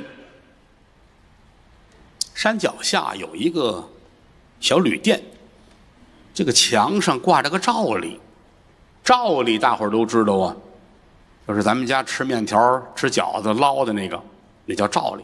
凡是挂着这个的，在过去来说就是个招牌，有这个啊，就说明这儿能住宿。能吃饭，哥俩到这儿，啪啪啪一打门，门一开，打里边出来一个人，往这儿一站呀，小哥俩半天没敢说话。出来这主儿看年纪三十来岁，身高得有一米八五左右，穿着打扮是普通人，就这张脸看着可怕。为什么呢？这右边这半拉脸呐，就好像是被什么东西舔过一样。啊，比如说来一大恐龙，大舌头伸出来一茬儿，上面都是大铁钉子倒刺儿，就这个感觉，打这脸这歘舔了一下，这个眼睛也是歪歪扭扭，这边露着这牙，这脸上一看就当初啊很多的伤，现在长好了，但是面目狰狞，半了脸，啊，站这看着这俩人，俩孩子站这儿，愣半天，这主问他：“你们俩找谁呀、俩孩子看看，济宁怎么走？干嘛济宁呢？想回家。又打山东济宁来了，到这儿问道来了啊！这主乐了，这一乐好更寒碜了，啊！济宁还远着呢，你们俩怎么了？没事儿啊，那个，您这是客店吗？啊，是客店，住店吗？我们俩挖人参来了。哦，那住吧，这儿不住店，天也快黑了，也没地儿可以待了，住吗？哥俩还嘀咕，最后一商量，住。怕什么怕他，对不对？他一个人，咱是俩人，他一个人弄不过咱俩人，啊，住吧。进来了，人家把门关上，啊，吃饭不吃啊？吃，贴着大饽饽，酸菜熬的豆腐，弄一这么一大盆，热热乎乎的，吃吧。这饭吃完了，天就黑了。啊，说这个平时这个店呢还有点人，现在没别人了，整个这店连前带后就咱们仨人。你们俩踏踏实实睡觉，放心。关上门之后，这个院儿里就是咱仨。哈哈哈早点休息。嗯，这俩孩子要哭，多瘆得慌啊！进屋吧。有一间屋，屋里还挺干净。哎呀，有个炕，有个小桌子，人家还给弄了杯水来，搁在这儿。这俩人坐在炕上，咱俩可商量好了，出去解手去，咱俩一块儿。半夜里谁睡着了，那上厕所也得叫对方。啊，无论到哪儿，不能不能分开，听见了没？是你放心，那不可能的事儿啊。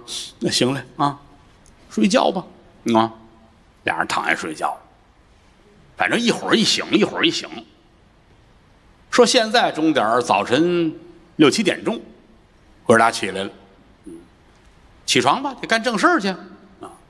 进山挖人参，这打开门，这半拉脸在门外边正站着呢，啊，他那表情是打算想微笑。我说那个脸要是一微笑，这玩意儿谁受得了啊？俩孩子一哆嗦，哇哎呀，早，啊早，起来了啊，起来了，起来了啊，好，吃东西不吃？吃，还是那个贴着大饽饽，嗯，酸菜炖豆腐，接着吃吧，吃饱了，俩人站起来，嗯，问你点事儿，什么事情？我们俩要去挖人参，往哪儿挖去？哦，往山里挖去。嗯，我们怎么去啊？走着去啊？那您看我们去吧。说了六句废话，啊，不是我，我们俩人生地不熟，没干过这个，想问问您，就是我们去挖人参，您看这事儿靠谱吗？这个玩意儿怎么说呢？我只能提醒你们，生死由命，富贵在天，啊，去吧，啊，出来吧，那只能这样了。哎呀，上午八点来钟，小哥俩由打这儿出来，进深山老林，刚来还挺开心，一人还拿个棍儿，来回不不愣愣的。为什么呢？这个有什么虫子呀、蛇呀什么的，不愣不愣的。但这个玩意儿就难了，你要上动物园去看去，那是一个心气儿。你到这儿那不一样。俩孩子这儿看那儿看，挺高兴，找吧。往这个里边走，越走啊，阳光越少，树都大，几百年的老树，遮天蔽日。走着走着，这俩人突然间站住，怎么呢？听身后有声音，出溜出溜出溜出溜出溜出溜出溜出溜，站住，没有，那挺奇怪。还往前走，嗯嗯啊，壮胆儿啊，又往前走。这一走，听到身后出溜出溜出溜出溜出溜，挺奇怪的。快走！你走得快，听这声音，出出出出出出出。你走得慢，他这个出出出出，好奇怪呀！俩人站住了啊，回头看，哈！你们吓我一跳。哎呀，不带这样的你们，在地上发现一样东西，一块骨头，骨头就这么大。陈大海捡起来了，是他跟着咱们吗？嗯，确切说是跟着你。闹，谁说闹的？一直在你那后边跟着出溜出溜出溜的，还放下吧。放下了，还往前走，一边走一边回头看，果然这块骨头在后边跟着，出溜出溜出溜出溜。他站住了，骨头就站住。哎呦，这个玩意儿太神奇了，我有点害怕。我有点害怕，他老跟着咱。别送了，回去吧，去回去吧，我们去挖人参了。你跟他说这干嘛呀？要不咱俩跑吧？跑！俩孩子甩开了腿。往前就跑，就这一憋气儿，跑出二十来分钟来。哎呀，我的天哪！哎呀，跑得够快，咱俩那是。终于后边没有出溜出溜的声音了。哟，上头里等咱来了，在前边呢。啊，陈大海一猫腰捡起来了。这个，这是，俩人比起来呢，陈大海呢胆还大一点。我揣着他，搁到怀里边了。这个说书有明笔暗笔倒插笔，书中代言这块骨头不是普通的骨头，是人的天灵盖。人家脑门上面那块你看人火化之后了吗？全身不都碎了吗？但是脑门那块烧不坏。哎，那块天灵盖谁的呀？这是陈大海他父亲。他爸爸当年挖人参，种种原因就死在这儿了，尸体都没了，最后就剩一块天灵盖的骨头，一灵不泯，在这儿等着他儿子。所以今天这块揣在怀里边。后文书很多事情多亏他爸爸保着他，揣在怀里边了。俩人还往前走吧，拿着个棍儿，唰啦唰啦的，一眨眼功夫就到中午了。出来时候呢，那半拉脸啊。给他俩人还带着大饽饽，带着点咸菜，哥俩找一石头堆儿，这儿一坐，连吃再聊天儿完事儿又玩了会儿。小孩嘛，终归十七八的孩子玩心大，啊，接着往前走，按钟点儿说，这会儿得下午两三点钟了。两三点钟，像这种森林里边，其实天就逐渐的暗下来了。走着走着，猛然间一回头。俩人都站住，就在这儿，不约而同一块喊的：“棒槌！棒槌！棒槌是什么呀？就是人参。人家这行有规矩，说看见这个人参不能喊人参，一喊这个他就跑了。啊，有个暗语，棒槌！啊，这是行话，这也不能随便说啊。你要上唱戏的后台，你喊棒槌。”能让人打出来，哎，棒槌是外行的意思，啊，俩人跪在这儿了，哎呦，可不是怎么着，这个玩意儿老天爷睁眼呢，凭什么我们俩来了就看见了呢？人家有挖参的，二十年、三十年未必有啊。你看这参苗，你看这花打身上掏出一根红头绳来，把它系上。您挖参这行有传说呀，说你要不系上那花，一会儿它跑了。啊，打怀里边来掏出家伙，鹿犄角，你看那鹿了吗？脑袋上那犄角，拿这鹿犄角跟那儿挖，别的不行，就得拿这个玩意儿挖往下刨，看看到底有多大。啊，刨着刨着，俩人傻了，怎么呢？越往里边刨越深，刨到最后，发现人了。这个玩意儿就可怕了，各位啊！他人参在地上长着，怎么怎么有人呢？到这会儿了，还得刨啊！接着往下扒了，刨这土，刨来刨去，发现了里边有死尸一具。这个死尸没有人头，人参是打这腔子里边钻出来的。俩人傻了，七两为参，八两为宝。从八两开始，这个参就不一样了。到八两，这个参，它就算是宝参；到九两，咱们所谓的就能变成人参娃娃了。如果发现这种参，这是属于十级的参，这叫鬼参。因为过去啊，有时候给皇家进贡什么的，他有很多的要求，就有一些个人他会一些个妖法邪术，把人杀了之后，人参籽儿撒到腔子里边，用血肉之躯养出来的人参。这东西很厉害啊！哎呦，陈大海跪在这儿，嘣嘣的磕头。这位我们也不知您是谁，大哥大姐大叔大婶儿，您拿血肉之躯养的这苗身，今天有缘分，叫我们哥俩看见了啊！我们一定得给您好好的埋葬，弄一个坟头给您烧香。我们给您这儿，这儿正说着呢，觉得后脑勺特别的疼，咣，人就扔那儿了。谁呀？王胖子。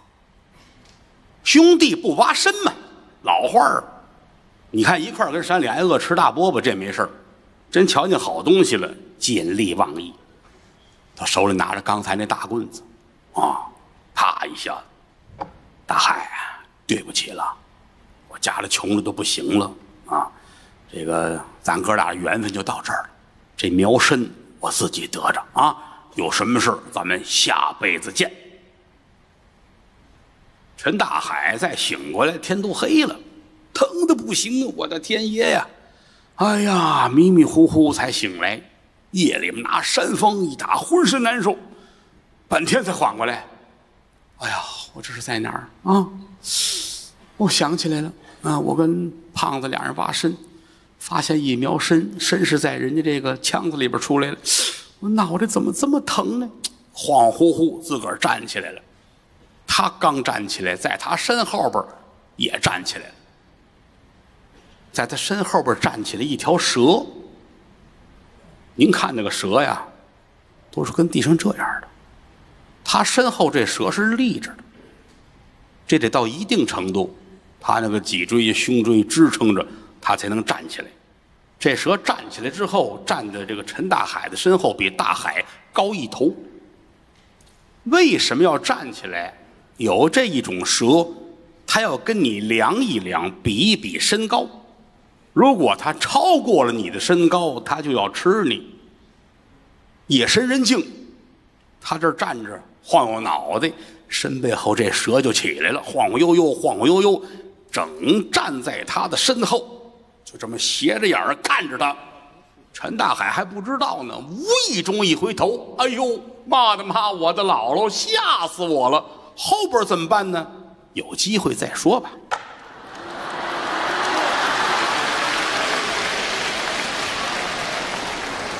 这世界很酷。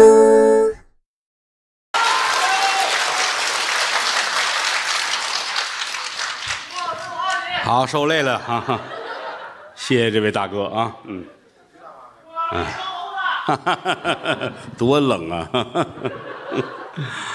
哎呀，刚才是高峰老师跟杨鹤通，这个高峰是我的师弟，杨鹤东是我的徒弟。应该都知道啊，高峰跟栾云平是一块儿说相声的。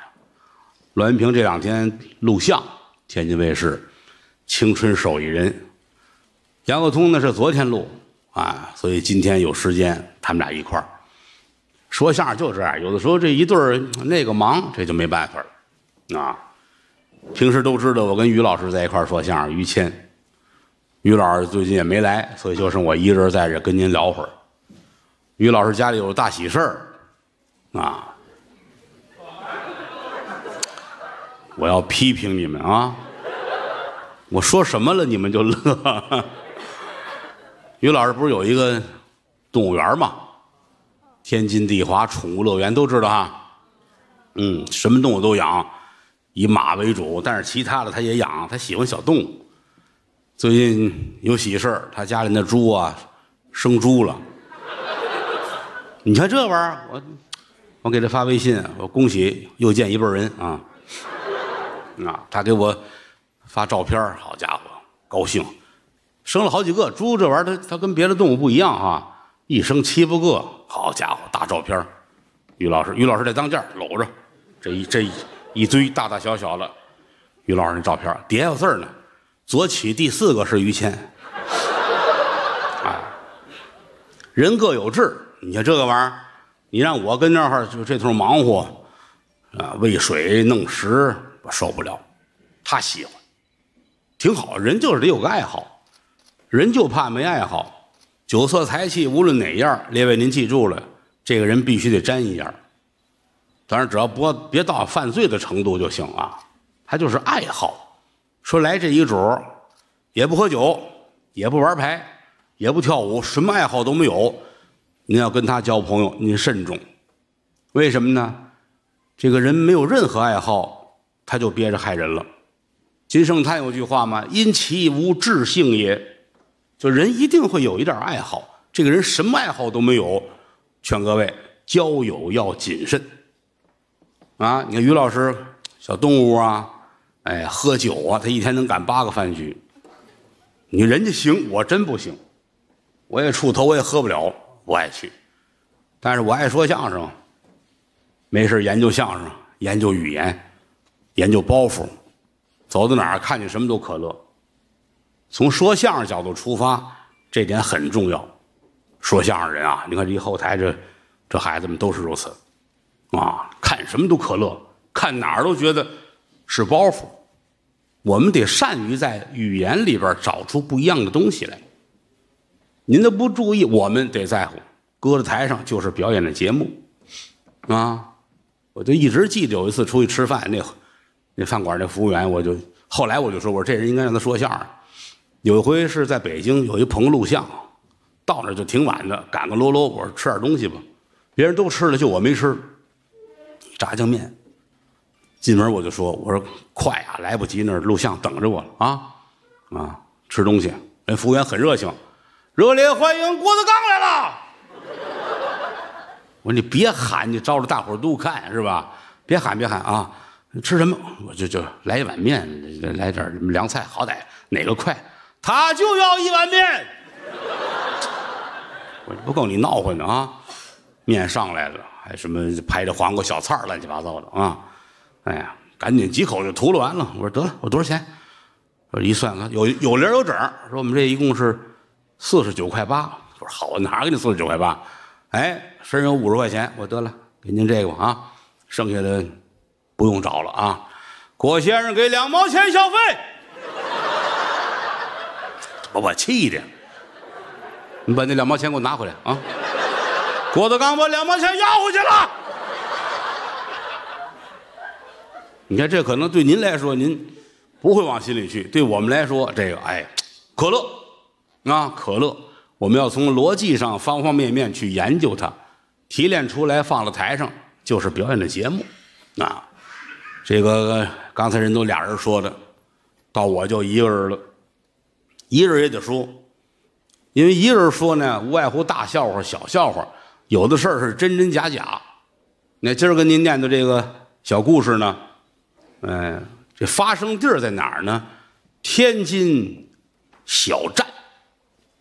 嗯，有小站来的吗？各位有吗？有啊，好，呃，让他出去来。来，保安给这位朋友请出去啊！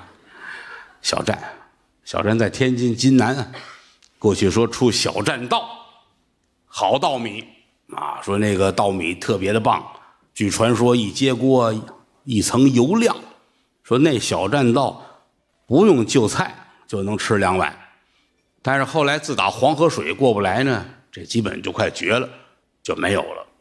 为什么叫小战呢？这就是火烧望海楼那年，天津教案发生，出了大事了。英国、法国，咱们这几家呢，大军舰都怼在那儿了，怎么办呢？同治皇帝啊，哎，就吩咐赶紧派兵。李鸿章啊，把自己的亲近的兵调来九千人，由打山西调九千人来安排在这儿。这陆陆续续就好几年啊，就这点事儿这一说。当时在路上弄了好多的驿站，四十里地一个大站，十里地一个小站，啊，就这一趟呢，大概是四个大站。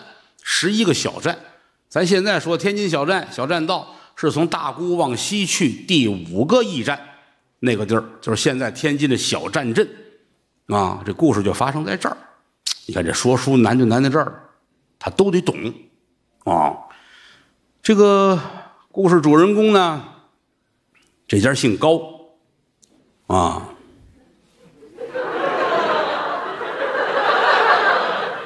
我刚才问高峰，我说你们家是小站的吗？他说不是，他说搬过来好几年了，嗯，不重要啊。我说住哪儿不重要，说书这玩意儿您记住了，真真假假，假假真真。哎，他过来一翻脸，我就说山东德州。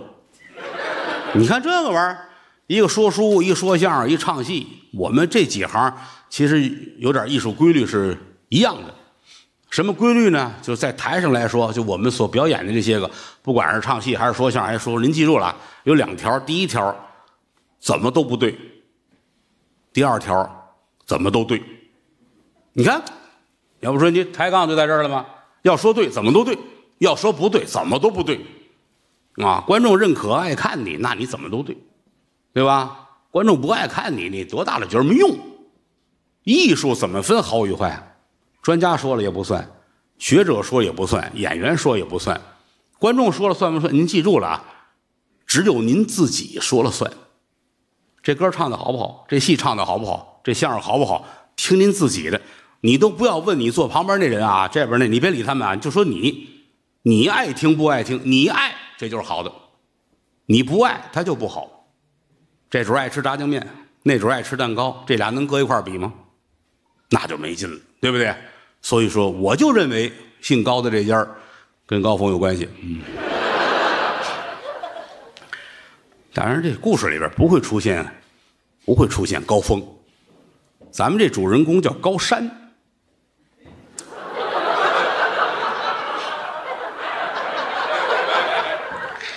我告诉你，干这玩意儿，你知道多快乐吗？真的，别说还给钱，不给钱都乐意，对吧？那。老大叫高山，啊，加了你意思再生一个叫高峰，啊，山峰嘛，是不是？这当然，这个故事是是在老二出生之前。要不我问他，你知道吗？我不知道，你还不知道。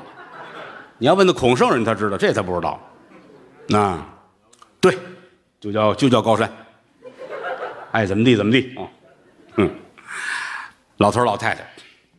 带着个儿子，儿子叫高山。儿子娶个媳妇儿，媳妇儿生一孩子，孩子呢两岁了，家里很宠。在这会儿呢，这媳妇儿呢又怀孕了，等于这抱着一个两岁的，肚子里还揣着一个，就是他们家这基本结构，就这几个人啊，日子都挺好。这家唯一的缺点什么呢？不会说话，那你这就要了命了。良言一句三冬暖，恶语伤人六月寒。咱们老说话是拦路的虎，衣服是渗人的毛啊。就这样，你同样一件事情，这主会说话，当当当当，连说带比划，就能把你欺负住了。这个不会说，这个整个的事情的结局它就不一样。这家人呢，其实挺善良。就是不会说话。早上起来，这婆婆呀带着儿媳妇坐车出去了，坐一驴车。那个年头不像现在出门还打车，没有一小驴车。哎呀，儿媳妇怀孕了，坐在车棚子里头，老太太呢，叼个烟袋，坐在跨沿上，旁边坐的车老板。因为什么呢？还有一天就年三十了，娘俩出去买东西，买点过年应用的东西，这儿走了，家里甩高山跟他爸爸不愉快了。怎么呢？就是因为不会说话。早上起来爷俩干活，收拾东西，啊，规制。家里还有地呢，种的菜，弄的草，乱七八糟的。这归置完了，就在河边河坡这儿，他爸爸这儿装车，把家里那个没用的草都弄车上，待会儿推到集上卖去。这一回头，在河边那儿有块石头，石头上这么大个一个一个鳖，老百姓就说这是王八呀，这王八跟那晒干老头高兴。这太好儿媳妇怀着孕呢，把这要逮着，弄点汤喝，这不是补一补吗？啊，就喊这儿子：“你别动啊，我去逮那王八去。”儿子不会说话。哎呀呀，逮什么逮？王八比你灵。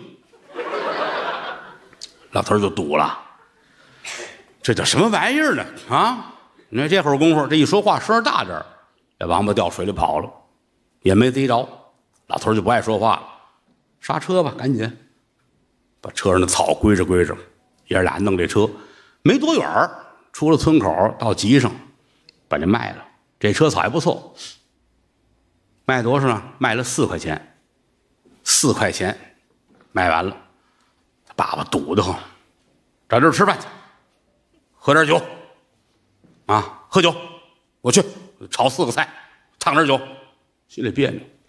旁边就有那饭铺。老头去了，进去都没喊这儿子，啊，这儿子呢倒是我也不饿，你吃吧，我外边等你，在外边等着。老头进这饭铺，炒四个菜，烫酒，来一屉蒸饺。往常舍不得这么吃，今天怄气，吃吧，连吃带喝，吃饱多少钱呢？两块钱，给人两块钱，结账，擦嘴头子出来。儿子是等着呢，吃完了，啊，吃完了，怎么了？我那么灵，还不能吃点饭吗？儿子把这茬忘了。哦，好，吃多少钱的？吃两块钱的。老头怄气，吃两块钱的。嚯，你一顿吃了半车草。老头眼泪都快下来了，不要命吗？走走走走走走走走。回来了，回这这咣把车就扔这儿了，啊！老头吃完了心疼，没这么挥霍过，把这粪筐背过来了。我拾粪去，我拾粪去，我多多拾点粪，多卖钱，啊！往外走，儿子站院里看，还纳闷呢啊。老头出去了，出这院心里别扭，把筐扔下了。哎呀，毒死我了！啊，倚着墙根那儿。什么孩子啊，这不会说话呀！这捋着胡子生闷气。一会儿功夫，高山出来了，站在门口。您不说拾粪去吗？怎么坐这儿捋胡子？你能捋出粪来？老头站起来，啪给他一嘴巴啊！你说的这是人话吗？爷俩矫情起来了，这会儿功夫呢，那娘俩回来了，老太太也一一肚子气。老太太不买东西去吗？年下了，儿媳妇坐车里边，老太太坐在跨园这儿，抽着这烟袋。这赶车的啊，一句话不说。老太太好意聊会儿天啊，怎么样啊？现在活多不多呀？哎，老太太您别搭理我，我不老会说话的。嗨，你这你你是没见我儿子？那还有我儿子不会说话吗？是不是啊？没事随便聊会儿不要紧的。哦哦，好嘞，老太太啊啊，往前赶这驴车。老太太，车里这是谁啊？这是我儿媳妇儿啊。哦，真好啊。哎呀，这少奶奶不错啊。你这不会说话吗？挺好的。好，您儿媳妇怎么这么白呀？老太太就一愣，她也不出门，天天在屋里边捂的呗。捂的就白了呗。赶车的想了半天，不对呀，我这屁股在裤子里捂半辈子了，也没白呀。老太太一听坏了，我不能搭理他，这跟我儿子有一拼啊！也不看他，吧嗒吧嗒吧嗒跟这抽烟。这赶车的老太太，您往里边坐啊，往里边坐，往里边坐。怎么还往里边坐？您看您您坐这抽烟呢，别回来这车一杠弄不平，扎了您的嘴也不合适，杵了驴屁股也不合适啊！你给我送回去。娘俩回来了啊！一回来到门口，正看这爷俩在地上都快轱辘起来了。老头气坏了，儿媳妇很懂事，别介，怎么了？哟，公爹，您这是怎么的了？为什么呀？老头气坏了，闺女啊，你就你这个，哎呀，我这个缺德儿子啊，就他实在是不会说话。你看他刚才说的，一五一十把话说一遍啊！你看他说这像话吗？儿媳妇给老头出气，您别生气。嘿，我说，哎呦，你看，你看，给咱爸气成什么样？你那说那都是人话吗？啊，你个牲口种！我告诉你吧，啊！老太太赶紧过来，行了，行了，行了，行了，行了，还嫌不乱呢？是怎么着啊？你别跟柴火了啊！儿子，你也是，别别犯浑啊！你看你媳妇这不就劝你听，他那是劝我吗？他骂的多难听，我我得打他，你不能打他，他他怀着你儿子了。他怀着我爸爸也不行啊！哎呀，这这一家就这点事儿，整整的吵吵到半夜，才算拉倒。嗯，转过天来，这都忙活过年了，腊月二十九、三十了，这几口人出来进去，谁也不搭理谁，啊，心里都别扭。不会说话吗？谁也不搭理谁。儿媳妇倒还行啊，没事就找茬说啊，哄老头老太太高兴，还算不错。就尽量的别让家里边过年那么尴尬啊！哎，到年三十了，老头呢现在忙活祭祖的事儿，家里边有祖祖宗的牌位啊，墙上还得贴点画，就老祖宗那个画。老头就一直跟这屋忙活着啊，弄一梯子，踩梯子上去，钉钉子啊，钉完钉子之后呢，把祖宗那牌儿得搁在上头。老头一上梯子呢，家里有一祖宗板吗？他把祖宗板就夹在腿上，夹在这儿钉钉子，当当当，钉完了他忘了，哎，那货哪儿去了？呵，他说这祖宗板啊，这个玩意儿贼性真不小啊！一眨眼就没了，跑不了，罐里跑不了全王八，知道吧？一低头，嗨，还骑着马找马。搁上面了，再下来，把那画都贴好了，墙上就是那一个老头一个老太太那个，哎，历代祖先嘛，贴好了。老头看挺高兴，摆水果，摆蜡签儿摆蜜供，啊，这正忙活着呢，儿媳妇抱着那个两岁的那个大孩子进来了，也为了哄老头高兴啊，快进来，快看看，哟，你看看，看爷爷忙活的多好，哎呦喂，呵。跟老头说：“公爹，这个这一墙的这都是什么玩意儿？这都是。”把老头气的，祖宗啊！哟，祖宗是屁股呀！你少说话吧啊！少说，你看着孩子。哎哎哎，我是是看着孩子。这儿摆着什么贡品呢？点心、水果。小孩过去要抓，这儿媳妇就赖着：“不不，这这好，这可不能，这都臭狗屎，不吃不吃。”臭狗屎，臭狗屎不能吃，不能吃啊！老头气的眼泪都快下来了，啊！你你去你去弄孩子去去去喂孩子去吧，别在这屋待着了。哎哎哎哎，抱出来了啊！上旁边那屋给孩子喂奶，两岁两岁不吃奶了，还宠他，快吃啊，快吃啊！小孩不饿啊，他这个他这妈快吃啊，不吃爷爷吃啦，不吃爷爷吃啦。老头气的，心说：“我们家这不像过的这日子啊，好容易把这年算是过完了啊。”家里坐了会儿也商量，说：“这个现如今啊，老头说我瞧不了我儿子在家，我这活儿啊，我也不用他，因为什么呢？看见你就生气，不会说人话，能不能你出去干点什么去？别在家跟我起腻。大伙儿一商量，最后说也是啊，因为也没有多少农活老头呢体格挺好，一个人足以应付了。实在忙不过来，儿子跟家忙活几天也就差不多了。平时要没事呢，他出去干点别的，挣点钱，还能贴补家用。行，说过完年吧，呃，出了正月，让他出去干点什么去吧。选来选去，选一个合适的工作，干嘛去呢？卖菜。这个卖菜啊，现在当然了，咱们上超市上哪儿就买去了。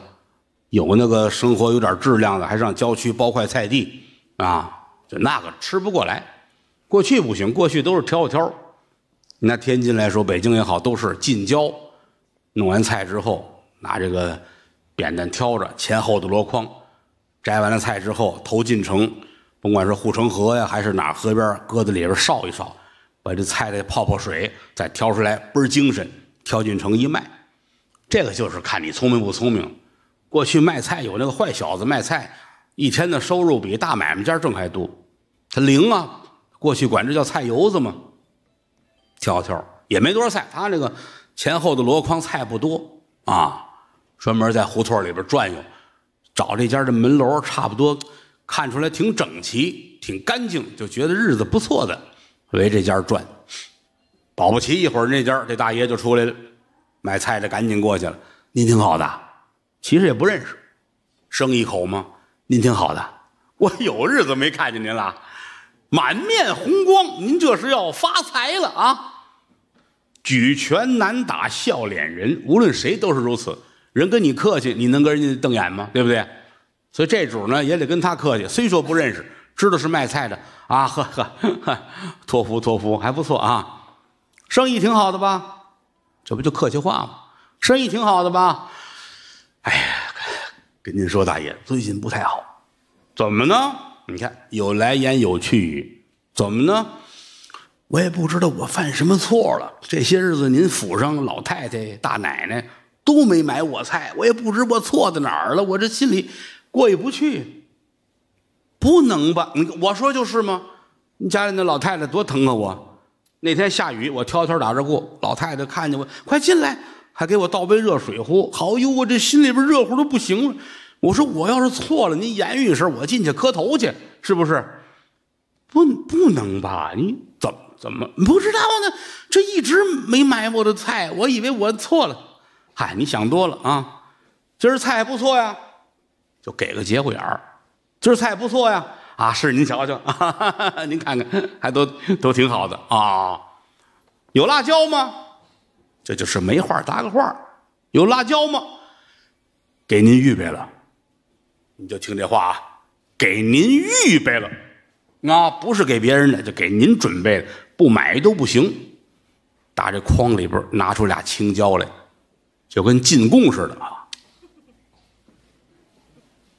这主接过来吧，哦，还不错啊，那能说什么呀？还不错，还挺好的，那是是好。嗯，您看啊，多少钱？您这嗨嗨，哎呦，您这话您可是抽我嘴巴了。什么钱不钱的啊？这我孝敬您的。你别别别别别，你你要这样我可不要啊！你你该多少钱给多少钱。这俩青椒，你小买卖人天天这么送，你还吃饭不吃饭？是是是是。您疼和我，我们家确实上有老下有小，孩子也等着那什么了，就就指着我这点东西卖出去养家糊口，全家人好几口端起粥碗来，得念您人家的好处啊！行行，你就说多少钱吧啊！这俩青椒，嗨，这还能怎么？那个这俩青，您给您给七毛钱吧，七毛钱。现在可能您觉得这七毛钱不叫多，那个年头这七毛钱鸡鸭鱼肉。啊，全家人八口人吃一天，啊，您给七毛钱吧。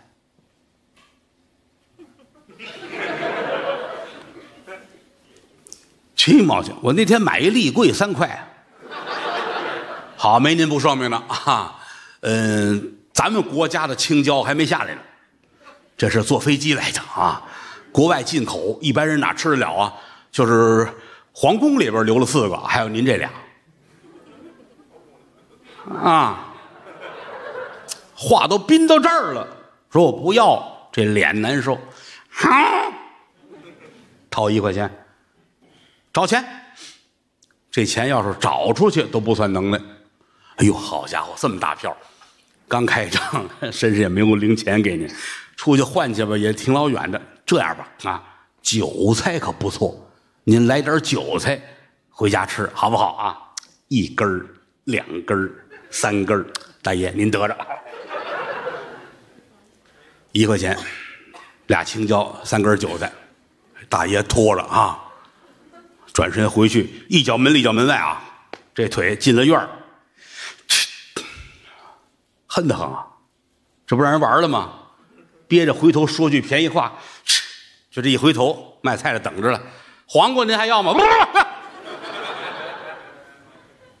转身走了。你看也不累，你他这前后筐能有多少菜？他卖这一天比批发那还多呢。这是菜油子，但是换这个高峰他大哥呢，越说越实在了。换这个高山呢，就差着了。你想他不会说话呀，跳跳啊，倒是也知道进城。哎，胡同里边来回溜达，你溜达溜达就停那儿吧。他没有啊，好家伙，跑上了。胡同里边唰唰唰唰唰唰唰，菜卖的不怎么样，落一好体格啊。一会儿换换肩，他也知累啊。最后实在是累了，搁在这儿了。哎呀，哎呀，这胡同没好人，嗯，这胡同这都不是正常人，没人出来买菜。废话，谁知你干嘛的呀？是不是？哎，赶巧了，这儿门一开，出来一位，来大嫂子，也是孕妇，挺着大肚子，出来了，卖菜的，哟，有这不怕死的啊！哎，在这儿呢，过来啊！人大肚子站在门口这儿，你过来呀！他告诉人家，你过来吧，你没看我跑一上午了吗？不是。你你你过来，我买菜。你废话，可不买菜呗，是吧？你买鞋上我这儿来。你这这，哎呀呵，这大嫂子也脾气好，啊，挺着肚走过来了啊。有青椒吗？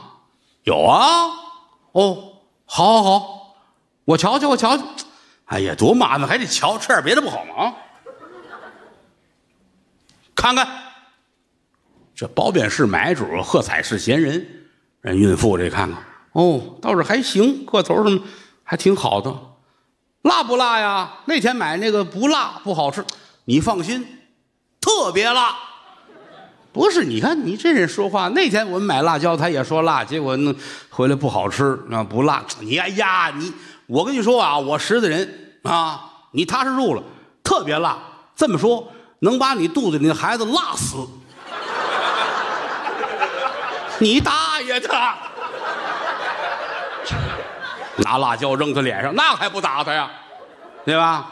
吵起来了，人家家婆婆在家呢。老太太说：“怎么的了？怎么了？怎么了？儿媳妇，你别着急，你挺个大肚子，你别跟他吵。怎么回事？怎么回事？啊，你他他说不会说人话。他说辣椒把孩子能辣死啊！老太太气的，你你怎么这样说话？你这孩子。”啊，哪有你那么说话的？不是，不是老太太，不是她。你看，我不是诚心的，我我是好意，我就说辣椒辣。我我不是那个人，我跟您这么说啊，我骗你，我我是你儿子。哎哎，这是我儿媳妇你说你是我儿子，你跑这儿占便宜来了。娘俩上去打他去，叮咣五四打一顿，走走走走走，以后别上这胡同来了。挑挑往外走，一边走边还哭呢，太委屈了。哎，欺负老实人你们啊！拐过弯去没多远这边有一尼姑庵俩小尼姑在门口拿笤帚正扫地呢，啊，拿着笤帚拿簸箕扫地，他哭着来了啊，没好人，搁在这儿，俩尼姑就看见了，怕他跟这儿摘菜，过去卖菜的有这个，这会儿也没有生意，搁这儿摘干净了啊，上别处卖去，人的意思你要跟这儿摘完菜，菜叶扔这儿呢，我们俩还得扫。哎，你别跟这儿摘菜啊！我们这刚扫干净了啊！这拿着笤帚，拿着簸箕呢啊！你别你别这儿啊！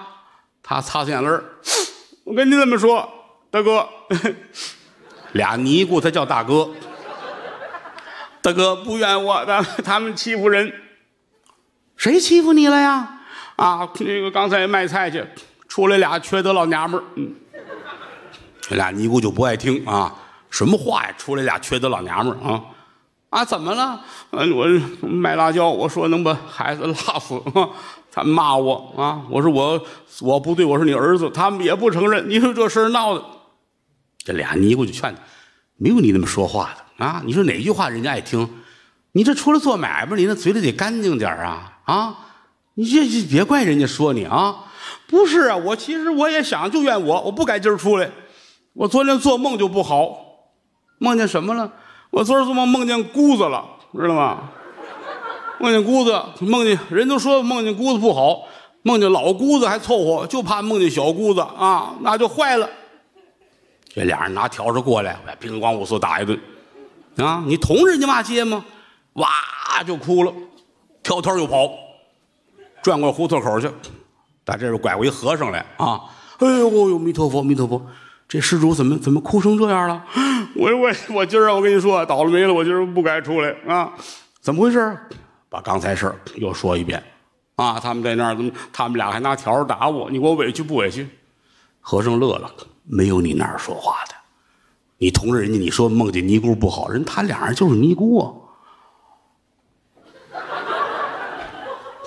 那俩是尼姑啊，你是欠打，知道吗？你是欠打，你要听我的，赶紧过去啊，找那俩你给我跟人道歉去啊啊！要不以后这门口你买菜你来不了，我还是道歉去，道歉我过来喊什么？你喊喊大姑啊，喊大姑！你说你错了，哎哎哎哎哎哎，跳跳回来了。俩小尼姑还在门口扫地呢，他过来了，我错了，我错了啊，大姑，我错了，我改了，你原谅我吧。哎，俩尼姑挺高兴，会说话啊。你们你怎么知道改了？你怎么知道我们俩叫大姑呢？别人告诉我的，谁告诉你的？那大姑父说的。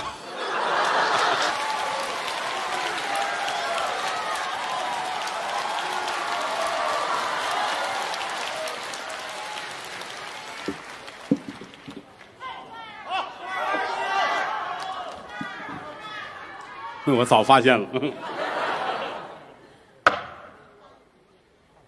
依山傍水，小河沟，小庙在山头。问菩萨因何倒坐？叹众生不肯回头。我不敢高台教化，也无非只善长山这脉脉风流。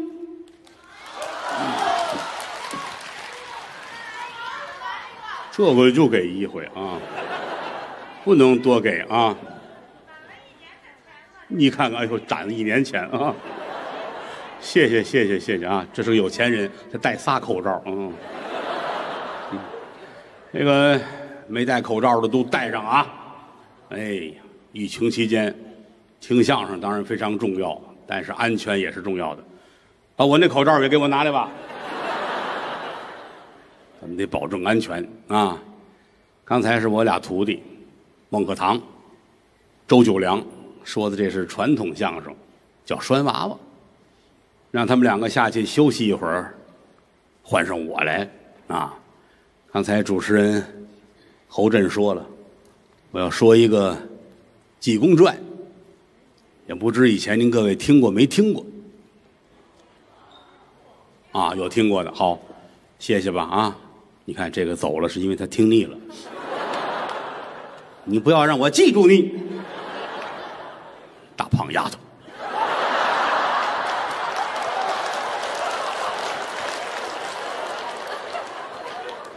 逗着玩呢，没事啊。不爱他啊，我是不爱他。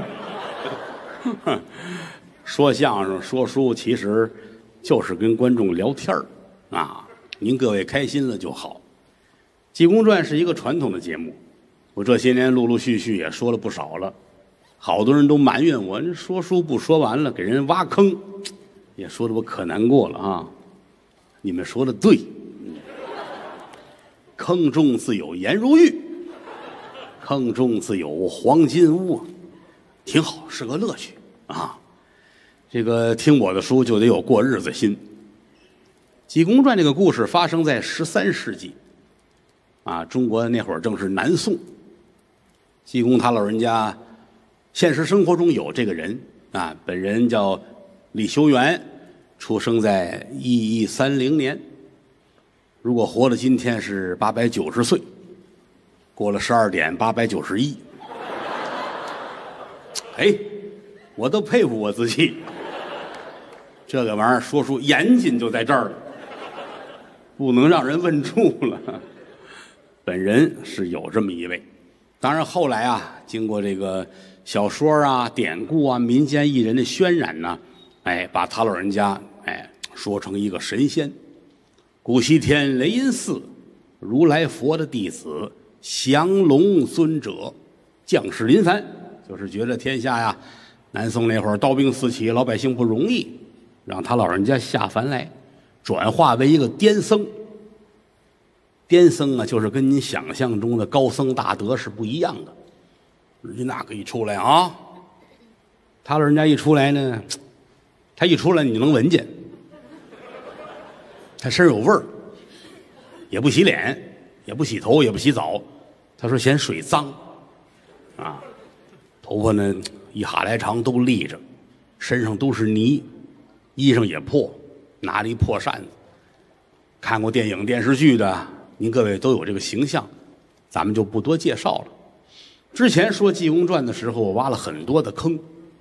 来之前，我在路上还想，我是不是需要把坑给大家填上？哎呀，想来想去，都到北展门口了，我也没想起来该填哪个坑。坑太多了啊！得了，说到哪儿是哪儿呗啊！好在您各位呢，也都是老主顾。也没人跟我见外，啊，这个就从今天说，济公就来了。你看这玩意儿说书就快啊，哎，说书的嘴，唱戏的腿，唱戏的跟台上，哎，转一圈就如同走了几千里地了。说书呢，就这一句话，哎，春去冬来，一年就过去了，快，不能墨粉，墨粉让人笑话。济公来了，上哪儿去呢？他出家是在灵隐寺，出了灵隐寺，往东走，拐过弯去，就是一趟很热闹的街。在街口这儿有一小酒馆，两口子开的，姓张，这男的就喊他老张，家里还一媳妇儿，媳妇儿挺款式，两口子跟这儿做买卖。也没有什么成桌的酒席，也没有，反正眼前的菜能给你炒两个，喝点酒，拍个黄瓜，弄个花生，切点卤菜，干这个。这个罗汉爷，跟他很熟，啊，今天来了，往这一坐啊，先把鞋脱了。他那个鞋其实也不叫脱，就是一甩，因为什么呢？前面张嘴儿后边没根儿，啊，坐在这儿搓自个儿这脚。啊，一边搓呢，一边跟老张聊天常听这个故事人都知道，这罗汉爷嘴里说话不利索，常年不刷牙，嘴里黏。啊，搓着脚跟老张聊天儿是是，你你买卖挺挺挺好啊啊。老张跟他认识，是托您的福，生意还不错。你得你得注意点卫生啊。你这你这饭馆饭铺，闻着有味儿。您脱鞋之前没味儿。我我我我，你这说说话怪噎人的啊！嗨，没有您那噎人 啊！这这给我弄弄弄点吃的。哎哎哎，您坐着吧，我给您烫壶酒去。老张烫酒去了。老张这媳妇过来了，胖啊，罗汉爷。有日子没来了，我那个想让您给我们看看。第一是生意不好，第二最近我们家可能不干净，是不是有脏东西啊？你说说怎怎怎么的了？哎呀，我我坐那凳子，裤衩就折了；往床边一坐，裤衩就折了；上我们家阁楼，裤衩一下子梯子就折了，是不是闹妖精啊？你这个娘们太胖了。嗯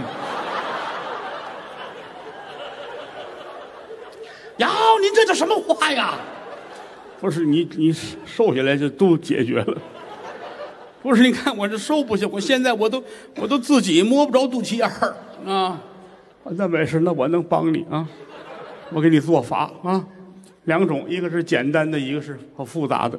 哟，您说吧，是怎么能简单？这简单就是我替你摸肚脐眼儿。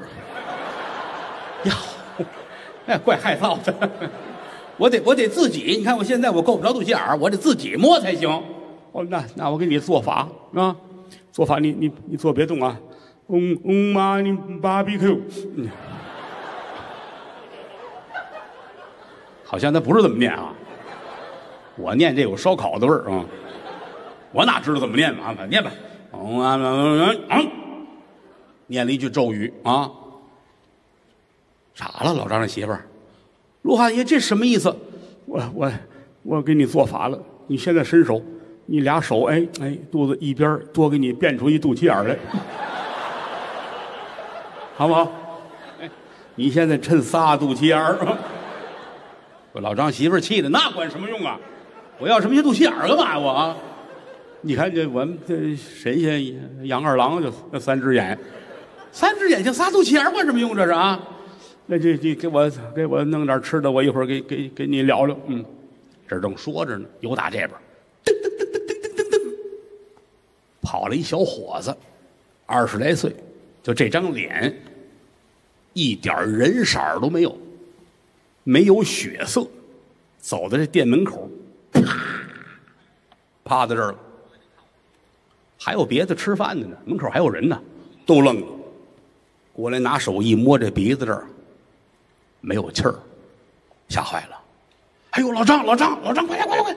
你们两口子快看看，你们这店门口死人了。老张过来了，媳妇儿也看看，俩人直抖了手，干了。这买卖怎么干呢？对吧？你这个店门口死人了，这个玩意儿，这就说跟咱没关系，你处理这个事儿也会很麻烦呢啊！都傻了啊！老张也傻了，这媳妇儿也傻了。旁边就有那聪明人，老张，那意思，活佛在这儿，跟罗汉爷说说啊！老张赶紧过来了，罗汉爷，你看这个，这这怎么办？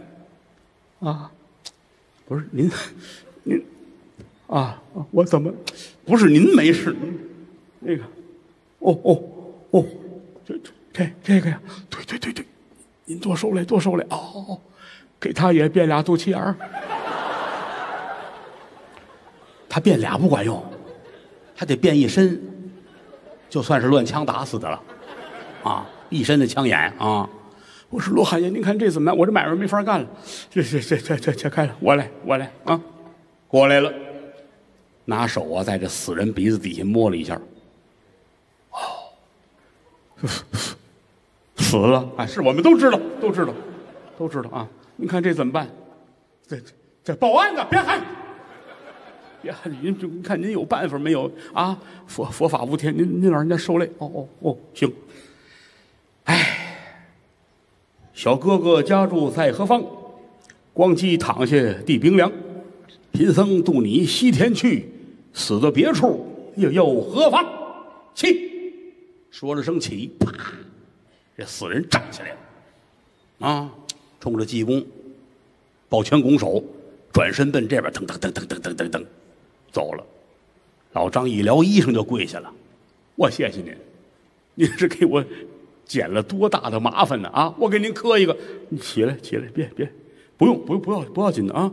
你呀，其实刚才我就想告诉你啊，你命中有这么个麻烦事儿，但是呢，我我看着你呀要发财，你现在去趟清波门，清波门是杭州啊西边的城门之一，你到清波门买一个猪头，他那有一卖猪头的。十五斤四两，把它买回来，我我送你一场荣华富贵，听见了吗？哎呦，我这我不指望发财，你快去快去快去！哎哎哎哎哎，那我我先溜达溜达啊，一会儿回来我吃你们家这猪头。罗汉爷站起来往外就走，奔这边溜达。人两口子得商量啊，让咱去买猪头，买不买十五斤四两？说买回来一场荣华富贵，买吧，买可是买家里一时拿不出这么多钱来呀。这胖媳妇说不要紧，你看我这儿摘下一簪子来，银簪子，你先拿着这个去。人家要钱的话，就把这个先给人家，多退少补啊！把猪头拿回来，看活佛说什么。老张呢，这儿去买猪头。罗汉爷出了门，往这边溜达，走了没多远儿这儿有一个卖药的，这小子三十来岁，站在这儿。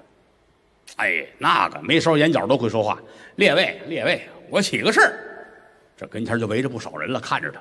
我起个誓，就我这个药，跟您各位说，最次的东西都是琥珀珍珠合出来的药，全是好东西，百病全治。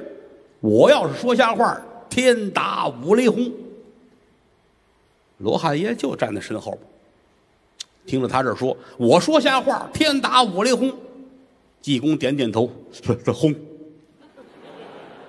话音刚落，啪，就这雷在这主耳朵边啪一声响，咣当就坐地上了。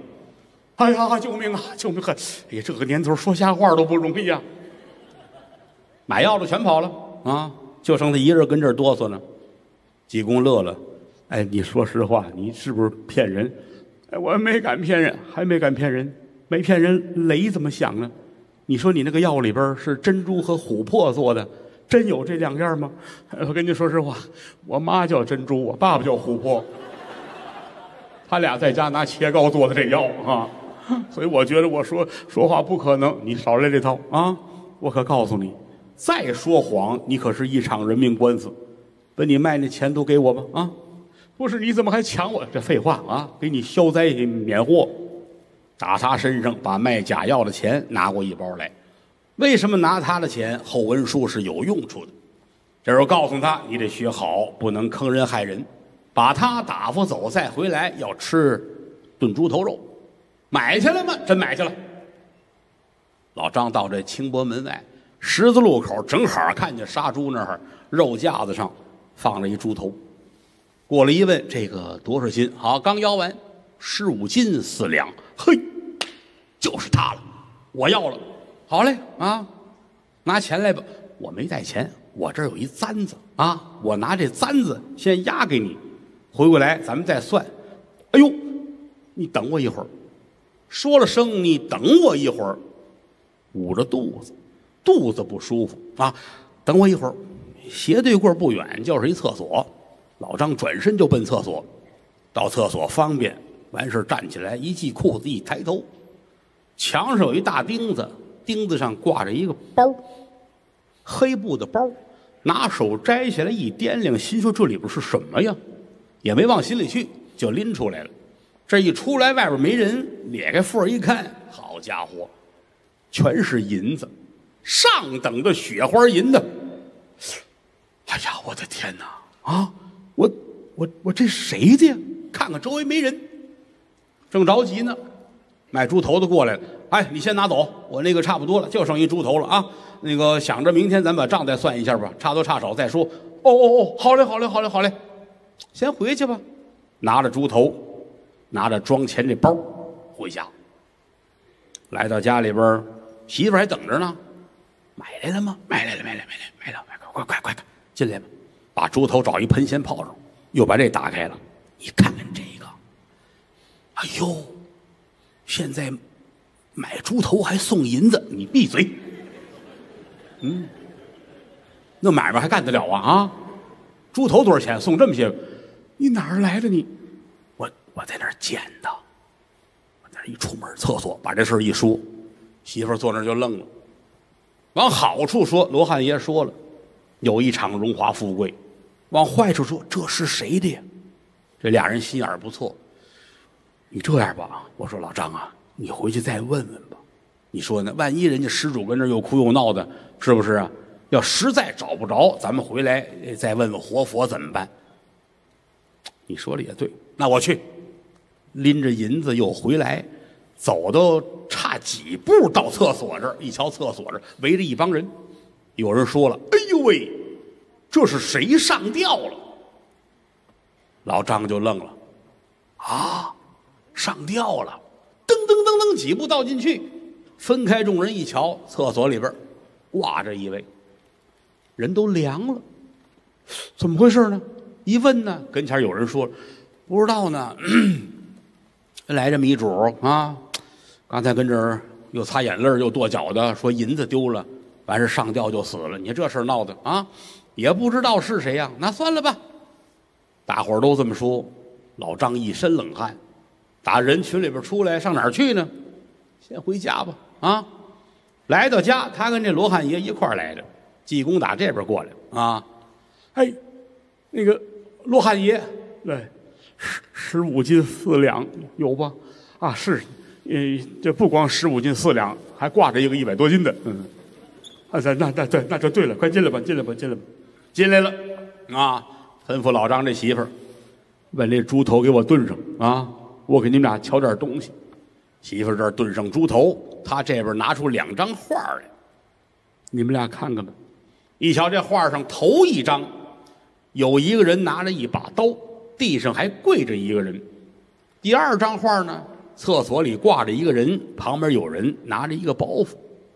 罗汉爷乐了，你看这头一张了吗？嗯，拿着刀这主是个江洋大盗，跪在地上这个人老张就是你上辈子，上辈子他把你杀了，把你身上带着钱都拿走了。你再看这第二张画，上吊的就是上一世的江洋大盗，他欠了你的的，躲到天边他也得还你，所以这辈子这点钱还得给你。他上吊了，还你条人命。哎呀，两口子听完了，顺着脊梁沟冒凉气呀、阿弥陀佛，人不能亏心呐、走到天边，报应也是有的呀。哎呦，罗汉爷，我们这谢谢您，那这个钱这这留着啊，留着，好好的花啊，别浪费。你们就隔三差五给我买肉就行了。嗯，打这儿吃饱喝足了，这儿一出来，刚一出门，拐过弯去没多远，又打这边噔噔噔噔噔噔噔，刚才那死尸又跑过来了，摔在罗汉爷脚底下。济公看着他，这这是迷路了。贫僧渡你西天去，死的别处，奈奈何妨？走你走，嗯，这又站起来，噔噔噔噔噔噔噔，往那边去了啊！活着时候啊，都没跑这么远的道啊，跑了。这儿一拐过弯来，有个小河沟，往这一走，在河沟的边上坐着一老太太。这老太太得五十来岁，穿的衣裳很破，就坐在河边这儿，一把鼻涕一把眼泪儿啊。和尚乐了，我就找他来了啊，高兴。走到跟前儿一撩衣裳，跟老太太做一对脸儿啊。你挺好的，老太太正哭着呢。哟，怎么呢？来一和尚，穿的挺破，一提鼻子还挺臭啊。啊，我我我不好，别别着急啊，我就是找你来了，我有事儿要要要跟你说。正要说着，又打那边噔噔噔噔噔噔噔噔噔，那死人又跑回来了，啪摔在跟前儿。和尚直嘬牙花子，打旁边撅了一根树枝儿，哎哎哎，这儿啊，在地上画图，起来往这儿跑，往东去，拐个弯儿，一直上那边去啊。路北有一大门，推门就进就行了啊。嗯，走走走走你走走。死人站起来啊，噔噔噔噔噔噔，按着路线走了。老太太都傻了，这是这是怎么回事？这是，别别别管怎么回事啊！你说说吧，啊，你为什么跟这儿哭啊？不是我儿子呀，可能是让妖精给迷住了。我眼瞅着他就活不了了，我们就娘儿俩过日子。他要是一死啊，我活着也没意思。我瞧我儿子，也就是这几天的事儿了。我不如就死他前边儿我就想扎这沟里边死，但是我又舍不得他，我这难受。我跟这我就难啊，别别别难过啊！我啊，我给你点银子。一伸手掏出一包银子来，这银子可都是卖药的银子，都是好东西，都是琥珀跟珍珠合的药啊。拿着，拿着回家啊。晚上我上你家去，我给你儿子治治病啊。你听我的，你别死啊，别死。以后我老得上你家去啊，我有事儿跟你说。您别闹，这谁谁跟你闹啊？呀，家走，等我去，快去。嗯，老太太站起来走了，和尚站起来，乐乐呵呵的，溜溜达达往前走，正走着呢，有打这边来一位啊，穿着打扮挺有钱，把路横住了。罗汉爷，干嘛呀？那死人是您知道我们那儿去了吧？有人说这是谁呀、列位，这是当地一个做生意的掌柜的，什么买卖呢？当年这个买卖叫化人厂，现在说就是火葬场啊。有人说那会儿叫火葬，堆料，北宋的时候就开始咱们有这个火葬，一直到南宋的时候，整个杭州地区这种殡仪馆呐、呃烧人地方有好几十家啊，国家还很提倡，叫化人厂。您看那个《水浒传》，武松、武大郎那骨头不就是何九叔给烧的吗？他就是化人厂那儿。这主呢，就是化人厂的掌柜的。今天做买卖正忙着呢啊，有打外边噔噔噔推门进里死人，趴那儿等着烧啊。掌柜的直做牙花子，这哪的事儿呢？跟前有几个伙计提醒说：“这个事儿别人办不了，一定是啊，济公他老人家派过来的啊，那就给他烧了吧啊。”这么着给烧了，烧完之后弄个罐儿把骨头还装好了。说那我得问问他到底是不是，尤其是谁家的，要不要写名字？别回人家本家找来都不知是谁。他这么着，掌柜的出来，没想到十字街头碰见罗汉爷了。您等会儿吧，那那人是您打发过去的吧？对对，我打发过去，烧了吗？您放心，烧的干干净净的，完事儿拿坛子都装上了。哎呀，别烧啊！那人还有救呢啊！咱没有这么逗的啊！类似的事儿之前您也办过，啊，我们说不管烧，您还上那儿骂街去，对不对？这回我们办的这么好，您不能这么这样开玩笑。哎，这行没事啊，那个烧了就对了，你做了件好事啊，呃，冲这件事儿以后你一定能得一大胖小子。哎呦，真的吗？我什么都不缺，我就想要一大胖小子。对喽，你一定要多干好事儿啊，因为你这个前生前世啊，这个太爱占便宜啊，净做坏事了。我可不是吓唬你，你如果不做好事的话，以后你哪怕生了一个儿子，你这个儿子有问题。这句话吓坏了罗汉爷，我儿子要是有什么问题，你儿子以后，你别害怕啊，我不害怕，您跟我说说。你要不做好事以后你生完儿子，你这个儿子吐屎。罗爷，我我做好事我一定做好事儿你好好做好事哎，不修今世修来世，哎，不修来世你还修个噎死呢？我不能噎死啊！不是，你就你就好好的吧。打这儿起，化人厂的掌柜的真是干好事，城里十里八村的大善人。他那儿子后来也很有出息。当然了，后来他这个儿子长大了，爷儿俩还特意找了一趟济公。掌柜的说：“我问您点事儿，当初您说我这孩子如果我不做好事，孩子吐屎，他为什么会吐屎呢？”罗汉爷乐了，不是报反了。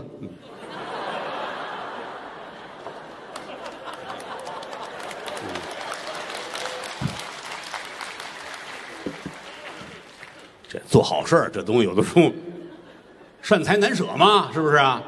你告诉他你你捐一百块钱，咱们帮助帮助这穷人，他不干。你跟他说你这事儿不干的话，你出门拿车撞死，他就花三千万了，啊，善财难舍嘛，啊，这个把他安顿好了，罗汉爷看看天儿，心说得等着天黑了，我上老太太家去，给他拿妖精。老太太姓冯。儿子叫冯世禄，在一个布店里边啊给人打工，每天呢从早晨出来给老太太安顿好了，他上那儿上班去，哎，晚上再回来一走一天。他来来回回的时候呢，总路过这么一个小山湾啊，小山洼那儿有一窟窿，有一山洞，也没人拿这山洞当回事儿。他这天从这山洞这儿过，就听着山洞里边啊有风声，他也纳闷啊，往里边这么一探头，就觉得耳边像打雷了，又打雷又刮风又下雨，咣当一声他就躺下了。赶等再清醒过来，跟前站着俩姑娘，一个穿一身黄，一个穿一身蓝。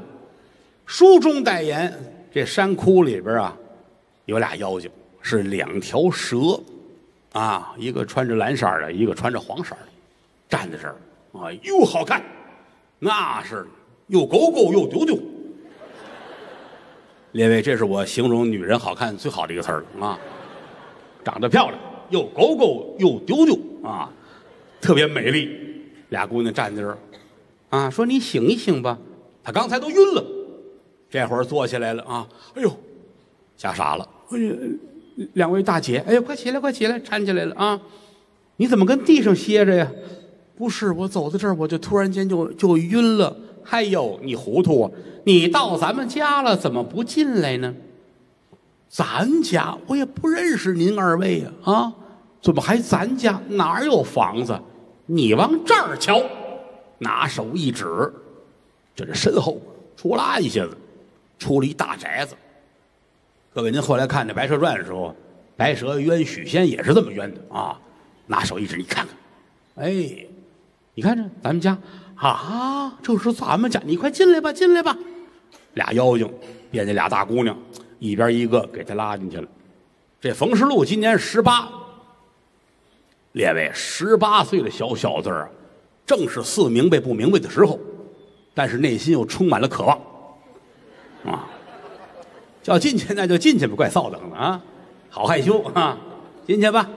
这儿一进来，好家伙，正当中，桌子上摆着一桌饭，又有酒又有菜，俩大姐姐陪着喝酒，啊，喝吧，连吃带喝，高兴，吃饱喝足了，俩姐姐劝他，天不早了，咱们歇着吧。哪儿的事儿就歇着呀？进了妖精的洞府，让歇着就歇着吧，啊，俩人拽着。上炕休息，啊，休息了好几天，这天早上起来，俩妖精一瞧，哟，这人都走了损子了，啊，就这脸瘦的就一条了，哟，这可不成，这不能死在咱这儿啊，死咱这儿哪成啊？给他送回家去吧，啊，吹了一口气，咱也不知道念的什么咒语，冯世禄就回家了，咣叽扔到院里边了，老太太吓坏了，好几天儿子没回来呀，啊。走到跟前看，这是什么呀？这是谁拽进了一麻袋呀？啊！扶起来一瞧，自个儿的儿子，吓坏了。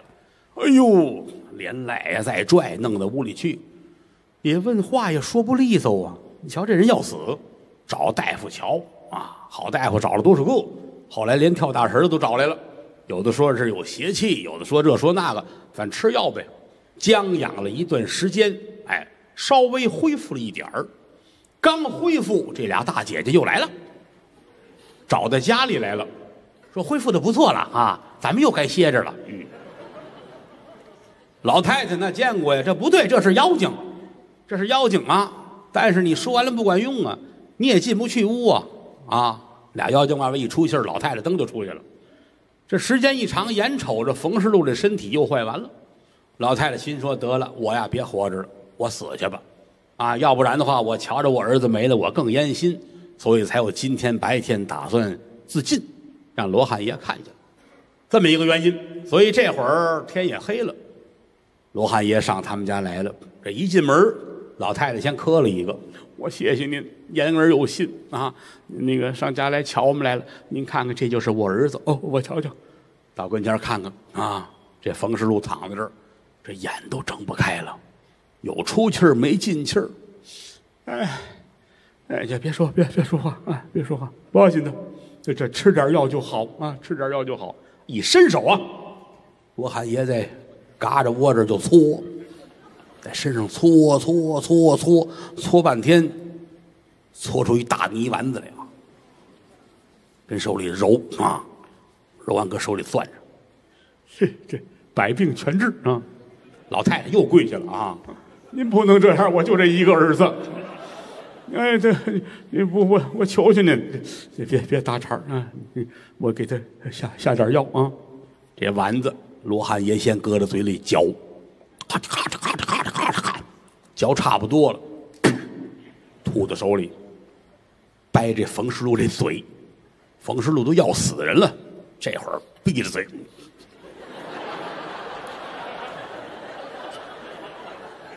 就不张嘴，把罗汉爷气的这不知好歹的玩意儿啊！一捏鼻子，张嘴了啊，往嘴里一放，哎呀，啊，抓着下巴颏捏着鼻子，咔嚓咔嚓咔嚓咔嚓咔嚓咔嚓咔嚓，这咽咽咽，药丸子吃下去，这个人翻了白眼儿了。老太太哭的都不行了，完了，这回可省心了啊！哼，哎呦，罗汉爷，您不能这样！我儿子，你别着急，一会儿就就行了，一会儿就凉透了，别凉透了呀，这这就行了，这就行了啊！等着，等着，等着，又等了大概十分钟啊！冯世禄睁眼了，哎，可臭死我了！哎呀呵，你看，你看，你看你儿子，你看说话劲头也足了啊！这这这这这条命算是保住了，罗汉爷。我就觉得我这肚子拧得很，肚子疼，我得上厕所。你不能动啊，你可不能动，你知道吗？啊，你就你就这样，你要是想想方便，你就在床上方便就行了啊。你使劲使劲。哎，罗汉爷，我不好意思，那有什么不好意思的？一二三，走。哦，好，行，挺好。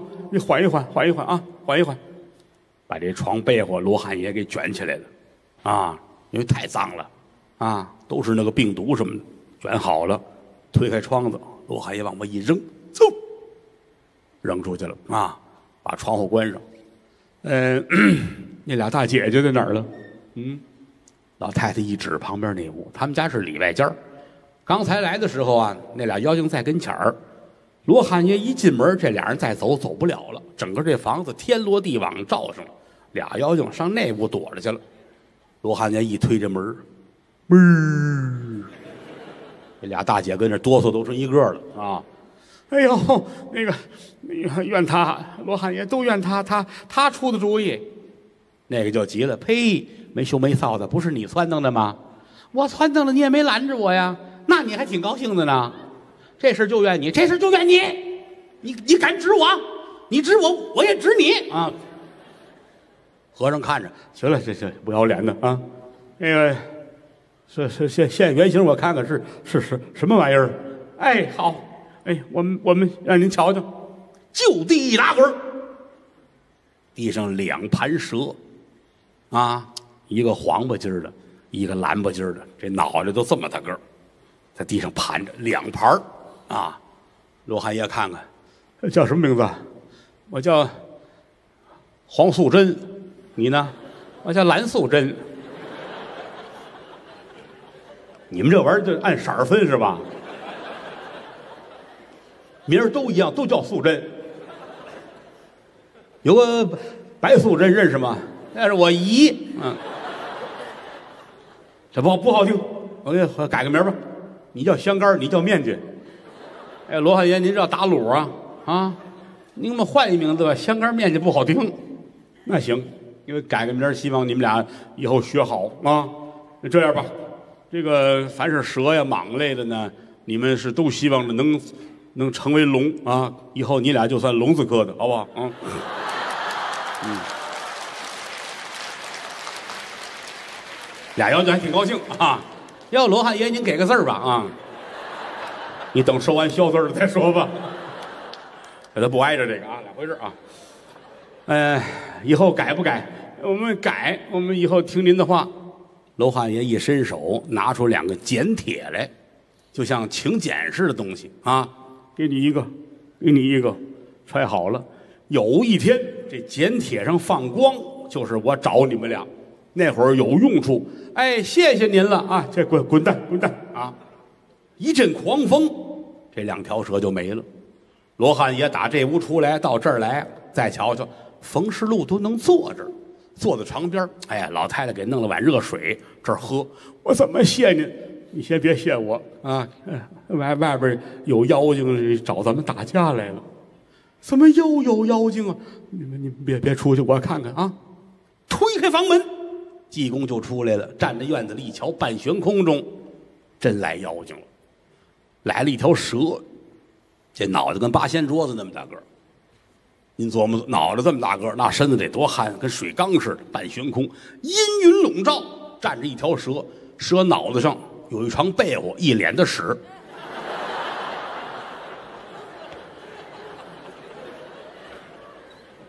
刚才扔的劲儿大了，啊，蛇打着过，正扣脸上啊。济公这时候看他，他这看济公。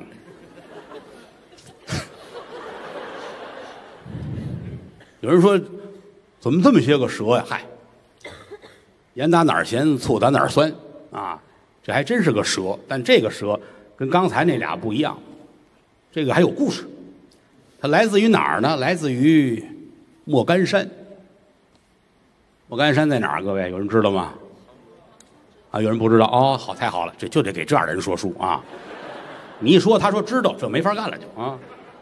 莫干山嘛，想当初吴王阖闾造宝剑啊，这个干将莫邪嘛，两口剑出在那儿啊。那个故事太复杂，咱今儿不说了。你说完之后是说不完，挖坑不合适啊。反正莫干山这儿呢，出蛇出的很多，啊，茅山有一位道士叫蒋云，他到这个莫干山去捉蛇，捉蛇配药，就发现的呀，这儿蛇特别的多，而且呢质量特别好，比别处的都强。刚到这个莫干山这儿，一瞧那儿有一老大爷跟那儿种地，蒋云一看他这脸，说你留神呐，这两天你可能得死于蛇毒。老大爷还不信呢。不能吧？你放心，你够呛。蒋云说完就走了。这大爷跟着干活，突然间有条蛇窜出来咬腿了，哟，还挺疼。干着活呢，手里有镰刀，就把腿上这肉剜下一块来，就扔了。剜下这块肉也就这么大，像一个象棋子儿。哎，把血挤干净了，就算活了命了。啊，过了两天，他又过来干活，在地上看见自己扔那块肉已经长成这么大块儿，自个儿觉得纳闷，这玩意儿毒太大了。撅了一根树枝儿，一扎这肉，自己的肉已经肿了这么大，一扎，噗一下子，往外喷这个血水，整滋在眼睛里边当时就看不见了。回家之后流黑水，然后流血水，当天就死了。这也是命中造定啊！就说此处这个蛇呀特别厉害，而且莫干山这儿这个蛇有两个啊，有一个蛇王，有一个蛇后，两口子。这个蛇王呢个儿不大，就这么大，你别看他小，他是蛇王，他特别聪明。这个蒋云收蛇，他得念咒，他一念咒呢，这蛇王拿尾巴呀就把耳朵堵上，不听，啊，所以逮他费很大劲。蛇后呢有一特点，每天得上树，从树上往下摔，摔下来摔着粉末一样，一个时辰呢自个儿还能合成一条整蛇。啊，所以蛇王蛇后都逮着之后配药，那太棒了。反正简短截说吧，因为蒋云拿蛇这个事儿很麻烦啊。简短截说，他把这蛇王蛇后都逮走了。他走的时候，蛇王蛇后有一个儿子，啊，有一小儿子。这小儿子呢，父母都让人弄走了，做医疗器械去了啊。生这孩子，山上来一放牛的孩子，把这小蛇捡走了。这孩子是个傻子。傻子天天拿这蛇跟着玩啊，也给他拿鸟蛋呢，拿鸡蛋喂，所以他跟个傻子长大的。要不说这个孩子童年这个成长啊非常重要，啊，你看他爸爸蛇王，他妈蛇后，他跟缺心眼的长大的，所以长大之后呢，他有点弱智，还自个儿宠自个儿啊。你妖精都得有名字，他给自个儿起名叫大宝宝，啊，无论什么动物一问他叫什么，他说他叫大宝宝，自个儿贺号叫英雄中的英雄。就这么一个缺心眼儿的玩意儿，啊！后来这满处都去吧，还认了一干妈。这干妈是个狐狸精，因为这干妈跟他那亲娘那蛇后啊好姐们儿，啊！后来说得了，你看我我管你吧，就把这缺心眼儿的这个接到狐狸洞里去了，啊！我得教你啊，他要跟人学变这个变那个，实在智力不够，啊！就学了好几年呐，就会变门栓，一说变，腾一下子变一门栓。狐狸说也没别的用，天天晚上拿它锁门用。哎，一擦黑儿，人家他这姨狐狸姨跟他说啊，天不早了，孩子上班吧，腾，就别在门上，就那么个缺心眼儿啊。但逐渐就长大了，长大了呢，这动物也有这个心呢，他就打算搞对象，就看上黄素贞、蓝素贞了，找人去了，我爱你们俩。那俩人说你爱谁呀，谁都行。我说你挑一个挑不了，俩都得是我的。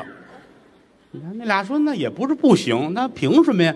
你有什么能力呀？我会变门栓啊，噔。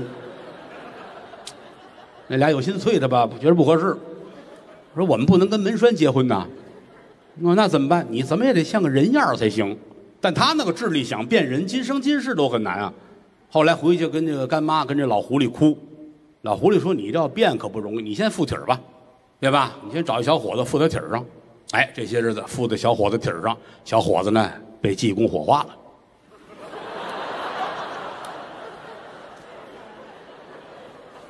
就这么简单啊！天下的事儿啊，就是这么简单啊！火化之后，他很生气啊，啊，自己的生活、家庭、爱情都毁在和尚身上了啊！所以今天上这儿来，他围着这个房子上空啊飞了半天了。他自己想，我怎么下去能让这和尚害怕？啊，自个儿跟自个儿锻炼啊，你如何如何使相儿啊，拧眉瞪眼，哎，正开心呢，来一被窝卷儿，糊脸上擦擦屎啊，啊，就这会儿功夫，罗汉爷推门出来了啊，看着他很可爱啊，这叫什么名字？英雄中的英雄大宝宝，和尚差点没吐了啊。没羞没臊的玩意儿啊，哈，就就就就该该干嘛干嘛去啊！你看不起他，这不行，急了，因为英雄是不可以被侮辱的嘛，啊，我跟你拼啦，往下就冲，啊，好家伙，后边这尾巴啪啪啪啪甩啊！你想想啊，和尚那是罗汉，能在乎这个吗？拿手一指，定，定住了啊，定是定住了，就后边俩尾巴不能动了。他原来是脑袋往下扎，这尾巴后边甩，这一下呢，尾巴是直的，啊，脑袋来回甩，啊，一会儿就晕了，啊，和尚挺爱看啊，歇歇会儿，嗯，歇会儿哈，打上面直接下来，这个冯家这后院啊，这旮旯这儿是一粪坑，他不光是他们家粪坑，就这一片啊，都跟那儿啊。倒东西，倒什么脏东西、排泄物啊！就这一下子，他下来，尾巴下去，脑袋在上头，等于这蛇这么立着下，整个都坐在这粪坑里边。这粪呢，到脖子这儿，啊！和尚过来了啊，站在这边上，拿手一指，嘿，一指他害怕，脑袋就下去了。哎，一会儿上来了，哎，和尚跟人斗，噔。噔噔，他这一逗，他嗯嗯嗯，得有一个钟头，最后妖精站起来了，我实在吃不了了，我实在吃不了了啊！和尚看看他，滚滚滚滚滚滚滚，赶紧赶紧走，该干嘛干嘛去啊！好家伙，打这粪坑里边拔地而起，飞走了，飞哪儿去呢？回狐狸洞。找他那姨去，啊！一进门，搂着这姨，搂这狐狸，委屈啊！他们欺负我了，狐狸气坏了，怎么那么脏？啊，怎么那么脏？弄我一身这是什么呀？啊！他来的时候，他这姨坐在屋里正哭呢。为什么哭呢？这里边有一个小插曲，有打京城啊来了一个官儿，工部侍郎周文华周大人。奉圣命去往福建莆田，到妈祖庙要献一只戒指，啊，妈祖庙大伙儿知道，咱们老说老娘娘庙，跟他们摔娃娃那说的不是一回事啊，那是两回事啊。凡是走水路、海路的船员什么的，都供奉妈祖。您到天津去看看妈祖庙天后宫，先有天后宫，后有天津卫。妈祖是北宋时候就有的。按岁数来说，妈祖比济公大一百九十岁，啊，也是神仙。这个老太后呢，皇上的妈呢，之前啊，坐船出去啊，差点出事海上风浪太大，结果呢，就是迷迷糊糊的，妈祖显圣把他救了。老太后回来之后，心里很感激，自己有一个金刚钻的戒指，就跟手下人说：“你们谁去趟福建，到湄洲岛啊，莆田那儿，那是妈祖庙，把它献到那儿去，聊表我的一份心意。”正好赶上了这位工部侍郎周大人巡查河道，就从那儿把这活接过来，带着这金刚钻的戒指，由打这出来要去福建。他路过杭州这儿半截就停了一站，因为船不能老在水面走啊，到了哪儿就停一下歇一天半天的。这一靠岸呢，地方官就说了：“说我们这四方山上啊，狐仙呐特别的灵验。”而且我们这个山上啊，土地城隍也跟别处不一样，包括我们山顶上的观音啊，都是跟别处不一样，都灵的不能再灵了，是有求必应。哦，好啊，那既然你们山上这么多庙，我逢庙烧香啊，见神就磕头。这么着，周大人要上山，开始在山脚下什么土地庙啊什么的都拜完了，得上山。上山的时候要坐轿子。地方上人说：“您不能坐轿子，哎，这底下这几个庙没事您要拜观音，必须是步行上去。为什么呢？没有人呢能坐轿子上去，嗯，对菩萨不尊敬。您要坐轿子上去，半截儿这轿得折。周大人不信，没听说过，京城也没这样过。坐轿子上山怕什么？坐，坐轿子上山拜观音，走了一半，咔嚓一下子，轿杆就折了，把周大人打轿子里边扔出去了。”哎呀，没想到，没想到，阿弥陀佛啊！得了，得了，那咱们走上去吧。这才走上去，走到山顶，啊，这个寺里边啊，这是供着观世音。但是呢，这个幔帐是撂着的。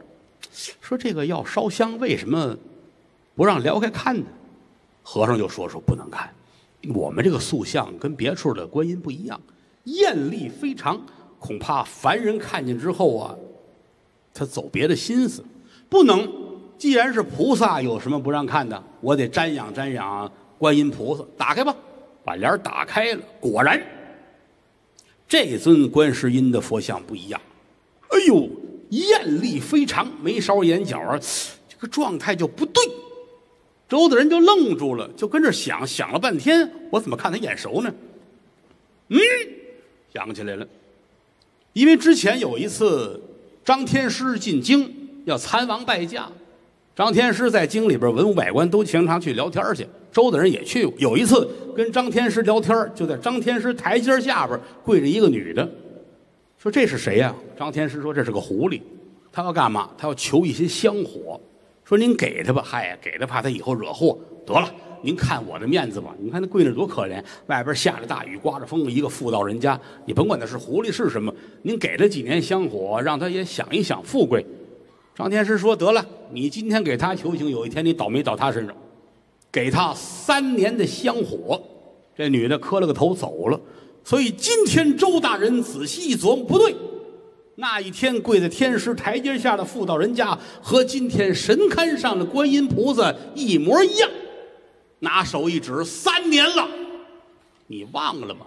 想当初我给你求了情啊，许了你三年香火，你不但不报恩，还把我的轿子弄折了，你还有天理没有？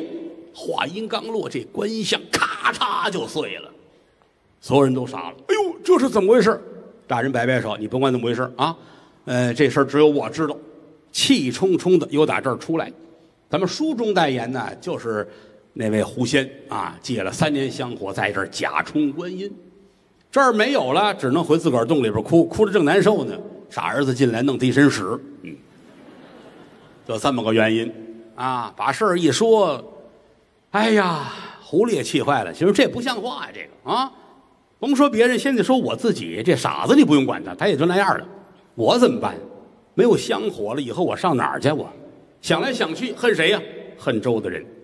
就恨周的人周文华呀，就是他的事儿。好嘞，你不是走水路吗？你可别怪我，我给你搅和搅和。这个妖怪呀，他也互相有穿呼，甭管天上飞的、地下跑的，他们也有，就跟说相声是一样的。啊，你是哪个团的啊？你是哪个单位的哈？咱们互相，咱们得标起榜来，咱们得如何如何？哎，他他也是讲究团结的啊。所以说啊，狐狸回过头来找自个儿的姐们儿，果不其然，当天周大人这儿就出事儿了。周大人来的时候，不是带着那个老太后给的金刚钻的戒指吗？啊，这儿拜完山再回去上了船，大管家周福过来了，大人跟您说戒指丢了，啊，什么丢了都行，那个不能丢啊，那是奉圣旨的一个正事儿啊，那是得得搁在庙里，您搁不了庙里边没了，怎么会没的？来了一个大姐，穿着一身黑，就上船来晃了一下，就没了。哎呀，干了！咱们这可欺了君了，有误亡命，这可怎么弄啊？啊！大人跟这儿顿足捶胸，正难过呢，一回头，大人愣了，旁边坐着一和尚，也不知什么时候来的啊。和尚脱了鞋跟这正搓脚呢，嗯。你，您是 怎么呢？呛得慌啊！您是我看看你来，嗯，你挺好的啊，啊，我我我挺好的，您是哪儿来的呀？嗨，不重要啊，我来我来给你帮忙来了。不是你你给我帮什么忙？你们你们谁认识他呀？官船上来一和尚坐着搓脚，谁受得了啊？你是这个船美到了当地，有当地的地方官要给送吃的呀，补充一些个东西，所以有人认识，就赶紧把周福叫出去了。那可不是一般人，那个罗汉爷怎么来怎么去，把事儿一说，周福赶紧进来了，咕噔就跪下了。大人呐，这是这是罗汉爷啊，这个济公长老啊，这这他老人家，那个你看看咱们这事儿，哦哦哦哦哦，是是是，知道吗？耳朵里灌满了，没见过。哎，因为他这个工部侍郎啊，他什么水利的事、河道的事，常年在外，他不怎么在朝里待着。啊，一听这个，赶紧过来了。哎呀，这个罗汉爷，我得求求您，您给我帮忙啊！别着急啊，你这事很简单啊，一一会儿就行了啊。你你往那儿那儿看，啪，拿手一指，大伙儿往外一瞧，就在水面上边来了一位金甲天神，手里边抓着一个女人的头发，这女的一身黑，抓着头发在水面上就飞着过来了。来到这儿，天神没进来，一抖手，啪，这女的就扔进来了，整扔在船舱里边啊，都傻了。哎呦，我的天爷，这是什么呀？罗汉爷乐了，起起来，起来，这穿一身黑好，要要想俏一身糟，哎，男男要俏一身皂，女要俏一泡尿，不是一身，反挺好看，挺好看啊。他跟这瞎说，这女的一不楞个站起来了啊，头发上都是水啊，披头散发啊，看看两边，转身就要走，走是走不了，为什么呢？他打一进这个屋，罗汉爷做法，整个这船就罩上，出不去。好家伙，连撞了几撞没出去，站那就傻了。再一回头，瞧见济公了。你看那个周大人呢，连着几个差人他不怕，他觉得这个人有问题。你是什么人？你不认识我啊？你再仔细看看，你放老娘走！你你是我娘啊！我也是打小没看见你啊，我我也没想到你，哎，你你抱抱我吧！哎呦，感情妖精也害臊啊！呵，真着急了，一张嘴，啪，真往外吐东西啊！各位，这么大个儿，水晶球啊，吐出七个来，啪啪啪啪啪，这个很可怕，真的啊！你甭说他，各位，您看您各位屋里哪位哈，一摘口罩，啪啪啪啊！你让他赶紧戴上，是吧？很厉害。那么说这是个什么呀？列位，这是条乌鱼精。我不知您哪位吃乌鱼啊？民间有传说，小孩不到十六岁不让吃乌鱼，乌鱼头上有七星。过去来说呀，比如说天上啊什么哪儿凶神恶煞犯了错误了，打到凡间来，才让它变成乌鱼呢。它这个呢得有四千年历史了。想当初大禹治水的时候就有它，但是没害过人。他这个七星啊，是脑袋上这七个斑点儿，对着这个太阳啊、月亮啊吞气啊，修炼五百年能亮一个，这七个是三千五百年，刚练好，但是有一节，他这个他这种修炼是纯阴的，所以他成不了正果。这狐狸跟他是好姐们儿，啊，没事俩一块儿喝茶呀、聊天、吃饭呐、看电影啊，什么下午茶什么的哈。老劝他，你得啊，哎，这个采阳补阴，你得这个，你得那个，老劝他。今天又找他了，说他那儿有一个戒指，这个金刚钻乃是纯阳之物，你得了那个，你阴阳相协和，你一定能成功。就是因为这句话，他才来的。白天上船来，把他拿走了。万没想到，落在罗汉爷这儿了。啪啪啪往外一吐，这七个宝珠吞出来之后，济公乐了。济公那是活佛呀，活佛也会念咒啊啊！我波婆摩佛哥。对不起，年头多我都忘了，我也不知道怎么念，反正念咒吧。这一念咒啊，这个济公这俩眼睛出两只手，鼻子眼儿出俩手，耳朵眼儿出俩手，嘴里边一个手，整是七个手，七个手接的七个珠子，一下接在手里边啊，这一吐，全在手里边攥着。再瞧这乌鱼精，傻了，怎么呢？这个东西您想一想，就跟狐狸吐丹似的呀，它全靠这点东西了。这个没有了，那就是菜，啊。对呀、你想有这七个珠子你是神仙，没这个你就完了，对不对？等着吧，凉菜上完就是你啊。真害怕了啊，就知道对方惹不起，咕噔往这儿一跪，哎呦，那个你你我我也不知道您是谁，我求您原谅我啊！我修炼好几千年，我也没害过人，我那个我没想到您您给我一条活路吧。罗汉爷乐了，你看倒霉倒霉那狐狸精身上了，你知道吗？啊，这样吧，呃，以后啊，你还有用处啊，我留下一个在我这儿，那六个先给你，完事我给你一个剪贴，有朝一日剪贴要是一亮了，就是我找你，找你来必有大事所为。到那会儿成了，咱们再说后头，我保你成正果。我这谢谢您了，梆梆的磕响头。给了他这六个球之后，这主一翻身，顺窗户出去，掉到水里边就走了。哎呀，周大人说：“您这就放他走了啊？我放他走，那戒指还没留下来呢。”哎呀，忘了啊！您不能忘了呀！这这，咱留了一大个，大个的不管用啊！我不要这个，我要那小的，小小的在这儿了啊！一伸手掏出来了，你看见了吗？这这就是他！哦呦呦，阿弥陀佛，圣僧，我谢谢您，你别谢我啊！马上要出大事了，你这怎么来这么个喜讯呢？啊！你往外看，拿手一指窗户外边，回头一瞧，这水呀、得够十丈，在水面上站着一个东西，人脑袋，龙身子。有人说有这个东西，哎呀，各位，您上动物园看看去，它怎么能有呢？故事嘛，你不能真有啊，是不是啊？都傻了啊！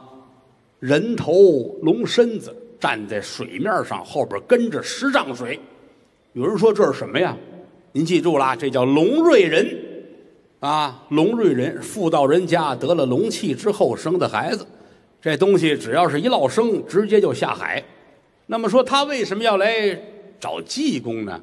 因为济公前世是降龙尊者，跟着如来佛过海的时候啊，他出来迎接来，如来佛跟他逗着玩这个东西小心眼儿，一直怀恨在心，多少次憋着出来打架来了，都没成功。今天他来了，他往这水面一站，罗汉爷开心了，我得跟他玩玩啊！推开船舱往这一走，突然间发现就在船舱上边站着一只麻雀。各位，天不怕地不怕，就怕这只麻雀。怎么呢？平常的麻雀都是两个腿儿跟着蹦着走，唯独今天这个小麻雀跟人似的，一步一步往前挪。别人没往心里去，济公吓坏了。我的天爷，这个事儿啊，怎么办呢？